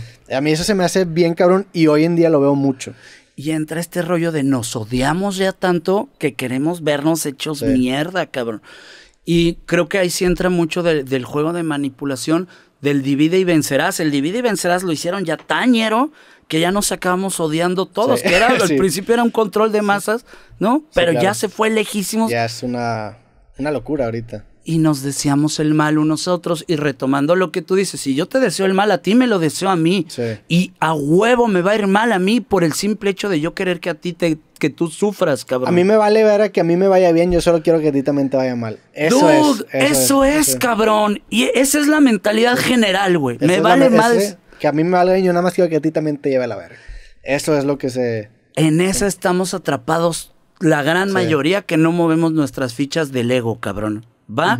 Y es pendejo, es, güey, ya deja de desearle el mal a otro y deséate bien a ti. Cabrón, ¿cuánto más tenemos que sufrir para, para decir, ay, muere, güey? Sí. Y aparte lo, lo, lo, lo, importante también es entender que si a ti te va bien, no le estás quitando que a él también le puede ir bien. Y, y si a él le va bien, no te está quitando a ti, güey. Hay espacio para que todo el mundo construya su definición de lo que es Claro, pero como nos enseñaron a sufrir para merecer el cielo, entonces que nos cargue bien la verga, porque no voy a ser que yo sufro para ganarme el cielo y tú no sufres y a la hora de que nos muramos, los dos estemos en el mismo cielo. Yo te digo, ¿qué hubo, cabrón? Si tú te la pasaste de poca madre y llegaste al mismo cielo. O es un güey disfrutando y estás pensando que espérate, hijo de tu puta madre, cuando se acabe la fiesta te va a llevar la verga y yo voy a estar en el pinche cielo. Exacto, cabrón, exacto. Ahí es. Um, Creo que es donde nos entrampamos los seres humanos. Es como, es como si tú tienes un examen mañana y tú estás estudiando y ves un güey de fiesta y dices, ah, mañana te va a llevar la verga en el, examen. Sí, cabrón. Y te da coraje que el otro cabrón de repente copió y a la hora de chingazos sale, sacó 100 en el examen, cabrón. Y tú sacaste 90 y estudiaste y dijiste, puta, verga, me ganó este cabrón. Pero ahí creo que el pedo entra porque el mérito está de afuera, que el maestro mm. te diga felicidades y que no, no que digas, yo quise estudiar. Y yo aprendí, o Yo sea, yo, yo aprendí. sé, él no sabe. Exactamente. Y no importa el puto número que diga la hoja. Yo aprendí. Da igual, yo aprendí. Y también se vale que mi carnal no aprendió algo que no le Sí, interesa, dude. bueno, a mí no me interesaba esa madre, no me cambia la vida. No le interesaba esa materia, cabrón, ¿no? Sí. Que entra como la, la homogenización de todos tienen que aprender al mismo tiempo lo mismo. Cuando de entrada el ser humano tiene una capacidad de asombro. El ser humano es científico. Los niños preguntan. Sí. ¿Va? O sea, tú deja al niño preguntar. Sí, es curioso. Es curioso y él va a aprender. El pedo es que entra. Todos ustedes ahorita tienen que aprender la tabla del 5. Oye, pero yo quería saber la historia de los piratas. Me vale verga. Cállate ahorita. los. Cállate los cinco, es la tabla del 5, Sí. cabrón. No, man, yo ahorita quería salir a entender qué pedo con los árboles. La tabla del Sí. puto 5. Ahí es donde chafea el cuento, Y cabrón. también porque te dicen la tabla del 5 y no te explican por qué te estás aprendiendo esta mierda. O sea, ¿por qué? ¿Para qué? Sí, dale muchas opciones y dale opciones de juego. Por ejemplo, Alejandro Jodorowsky dice que el cine se hace a partir de sumar y restar. Por ejemplo, dice, hay un chango, súmale tamaño, Claro. sale King Kong.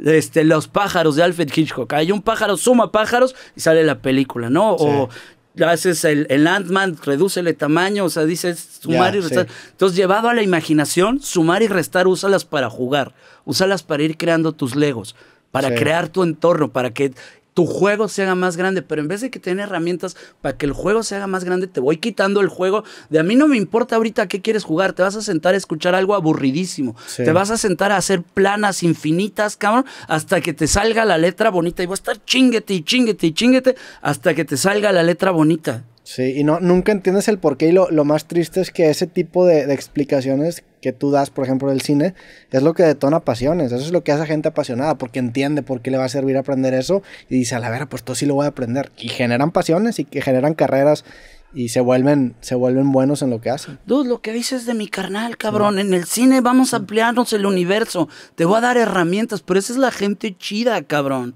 La gente que dice, te quiero dar herramientas. Pixar dan un chingo de herramientas para que los niños amplíen su universo bien, cabrón. Sí. Las nuevas que están aventando, la de, ¿viste la del negrito que toca blues o No, jazz? no, he o visto, no he visto la neta las películas, pero sí, sí, la- sí he visto las de Intensamente, las de... Intensamente es chulada, O sea, cabrón. no he visto ninguna película, pero he estado es- viendo el- lo- de lo que tratan y sí se me ha hecho muy interesante ver cómo ha evolucionado el tema de la animación para enseñar cosas que eh, ah, cuando yo estaba chiquito eran bien elevadas para un niño, ¿no? Y esa banda es, te estoy dando herramientas para que juegues, no te las estoy quitando, Sí. porque entendieron, me hace más rico enriquecer tu juego. Si eres el puto niño envidioso, el que dice, yo tengo el PlayStation, pero no se los presto a menos que hagan mis huevos. Sí. De Eso te hace un pendejo, cabrón. Porque te hacemos así con tu puto PlayStation y salimos a jugar con una lata y nos la vamos a pasar de poca madre porque los niños se la pasan poca madre con una lata, con una caja, no les importa el juego de moda. Pero siento que los malos son como, yo tengo este juego y no te lo voy a cambiar. Ay, pues chinga tu madre, pendejo. Nosotros jugamos con lo que caiga. Ahí es donde entra el valor de la banda. El, el güey que dice, dude, no necesito tus mierdas para ser feliz. Sí. Yo puedo ser libre con un toquecito, con una chela, con nada, cabrón. Con estar cotorreando con el compa. Y esta banda es la que se logra salir del juego, ¿va?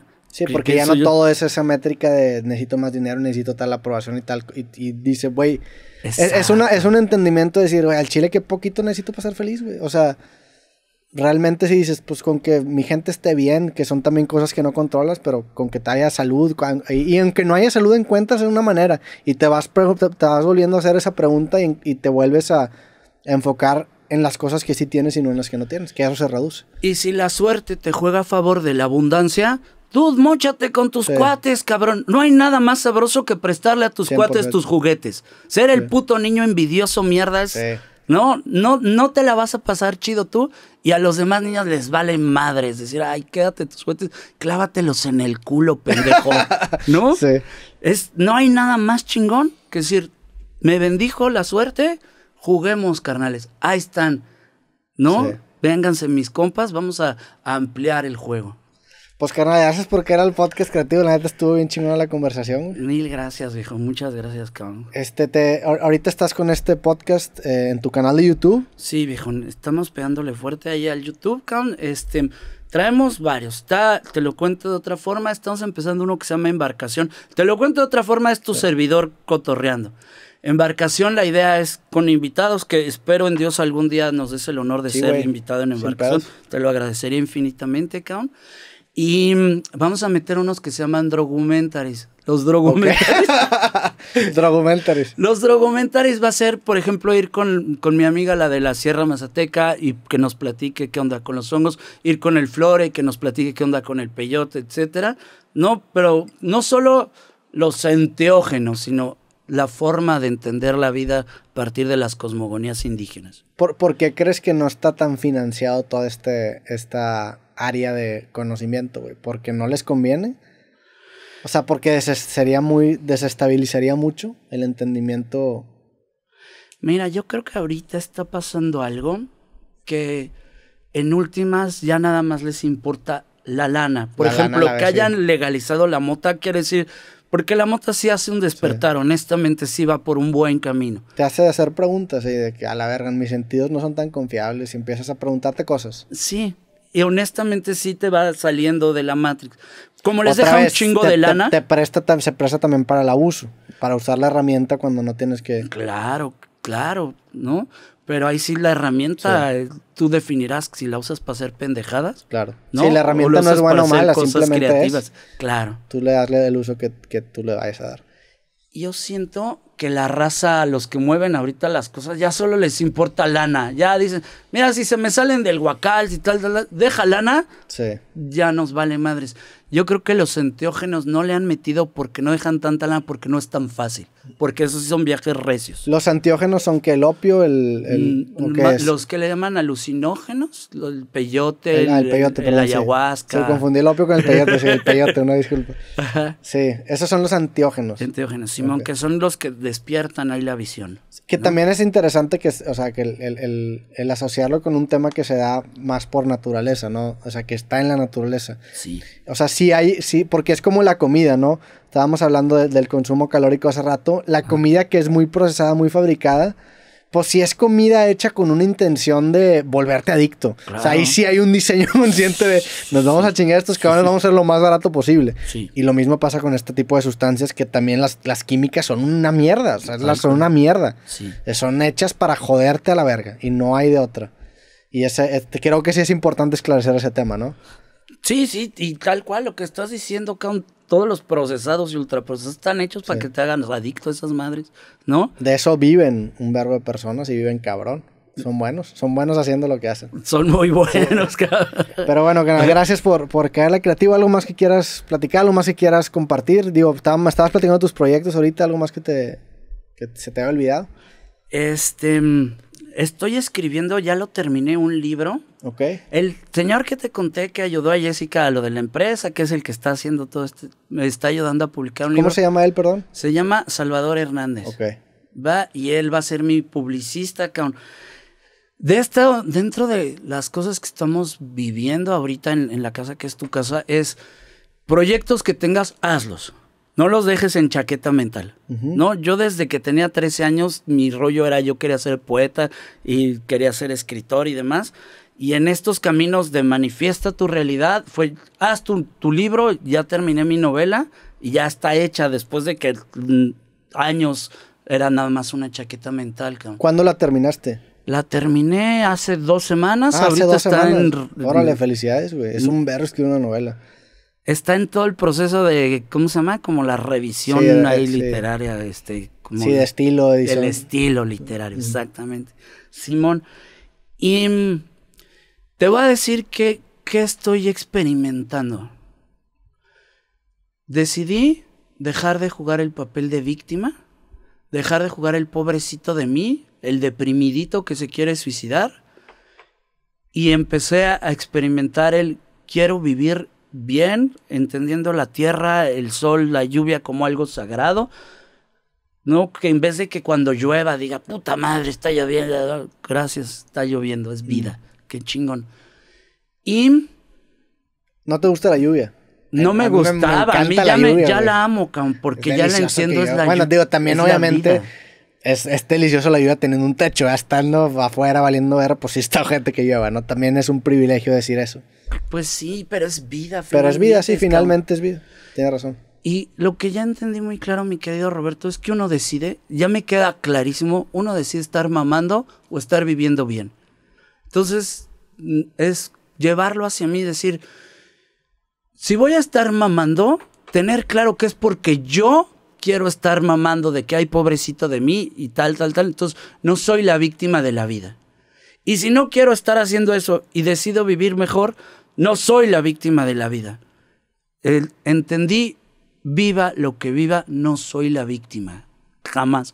Es una mierda vivir el papel de la víctima del pobrecito de mí porque es cómodo, pero está de la verga, ¿sabes, cabrón? Y siento que como mexicanos ya hemos jugado mucho el pobrecitos de nosotros, somos los inditos. ¿Sabes qué quiere decir hijo de la chingada? Quiere decir hijo de una indígena violada. Sí. Pobrecitos que los españoles. Ya, güey, no mames. Yo creo que ya vamos a dejar de mamar y asumir la responsabilidad. Es decir, somos.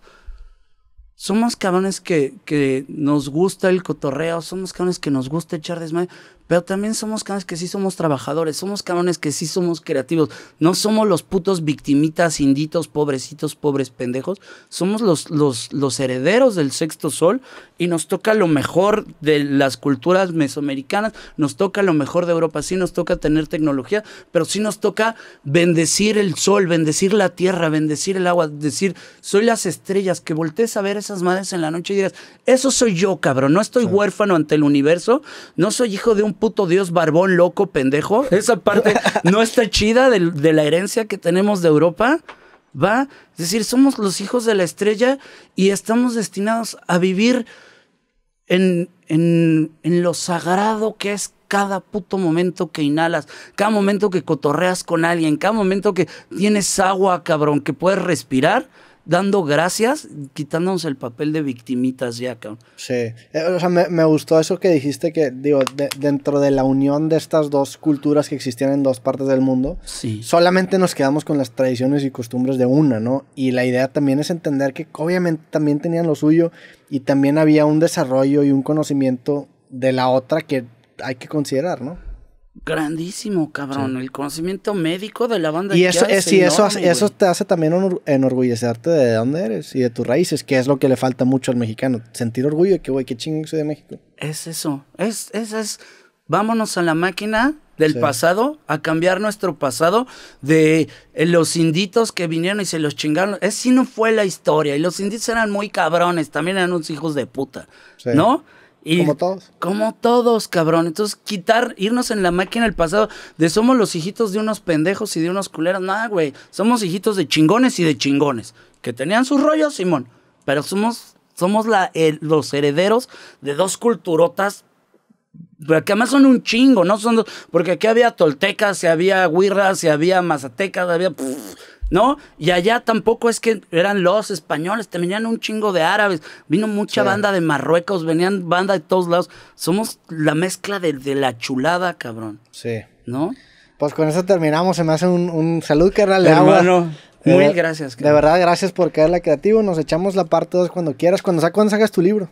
¿O, la- o El- tien- tienes alguna fecha de tentativa o no? Se supone que en unas tres semanas ya está, Ah, bueno. ya está impresito. Pues si, si me dices dónde comprarlo, lo pido y nos echamos una parte 2. Muchas gracias. Este, ya que me lo he aventado y, y- y hablamos, carnal. A toda madre, muchas gracias, viejo. Pues bueno, gracias a toda la gente también que escuchó hoy este capítulo creativo. Espero que les haya gustado y nos vemos en el que sigue. Sobres. Sobres. Clarísimo. Bien, todos, cabrón. Muchas gracias por escuchar este episodio de Creativo. En la parte de abajo te comparto un link en donde podrás escuchar los nuevos episodios de Creativo tres días antes en Amazon Music completamente gratis. También, si no estás suscrito al canal, por favor suscríbete en este link para que puedas enterarte de los nuevos episodios. Y si te gustan los temas que tratamos en este podcast, entonces seguramente también disfrutarás mis libros. Aquí te comparto el link para que les des un vistazo. Muchas gracias por ver Creativo y nos vemos en el próximo episodio.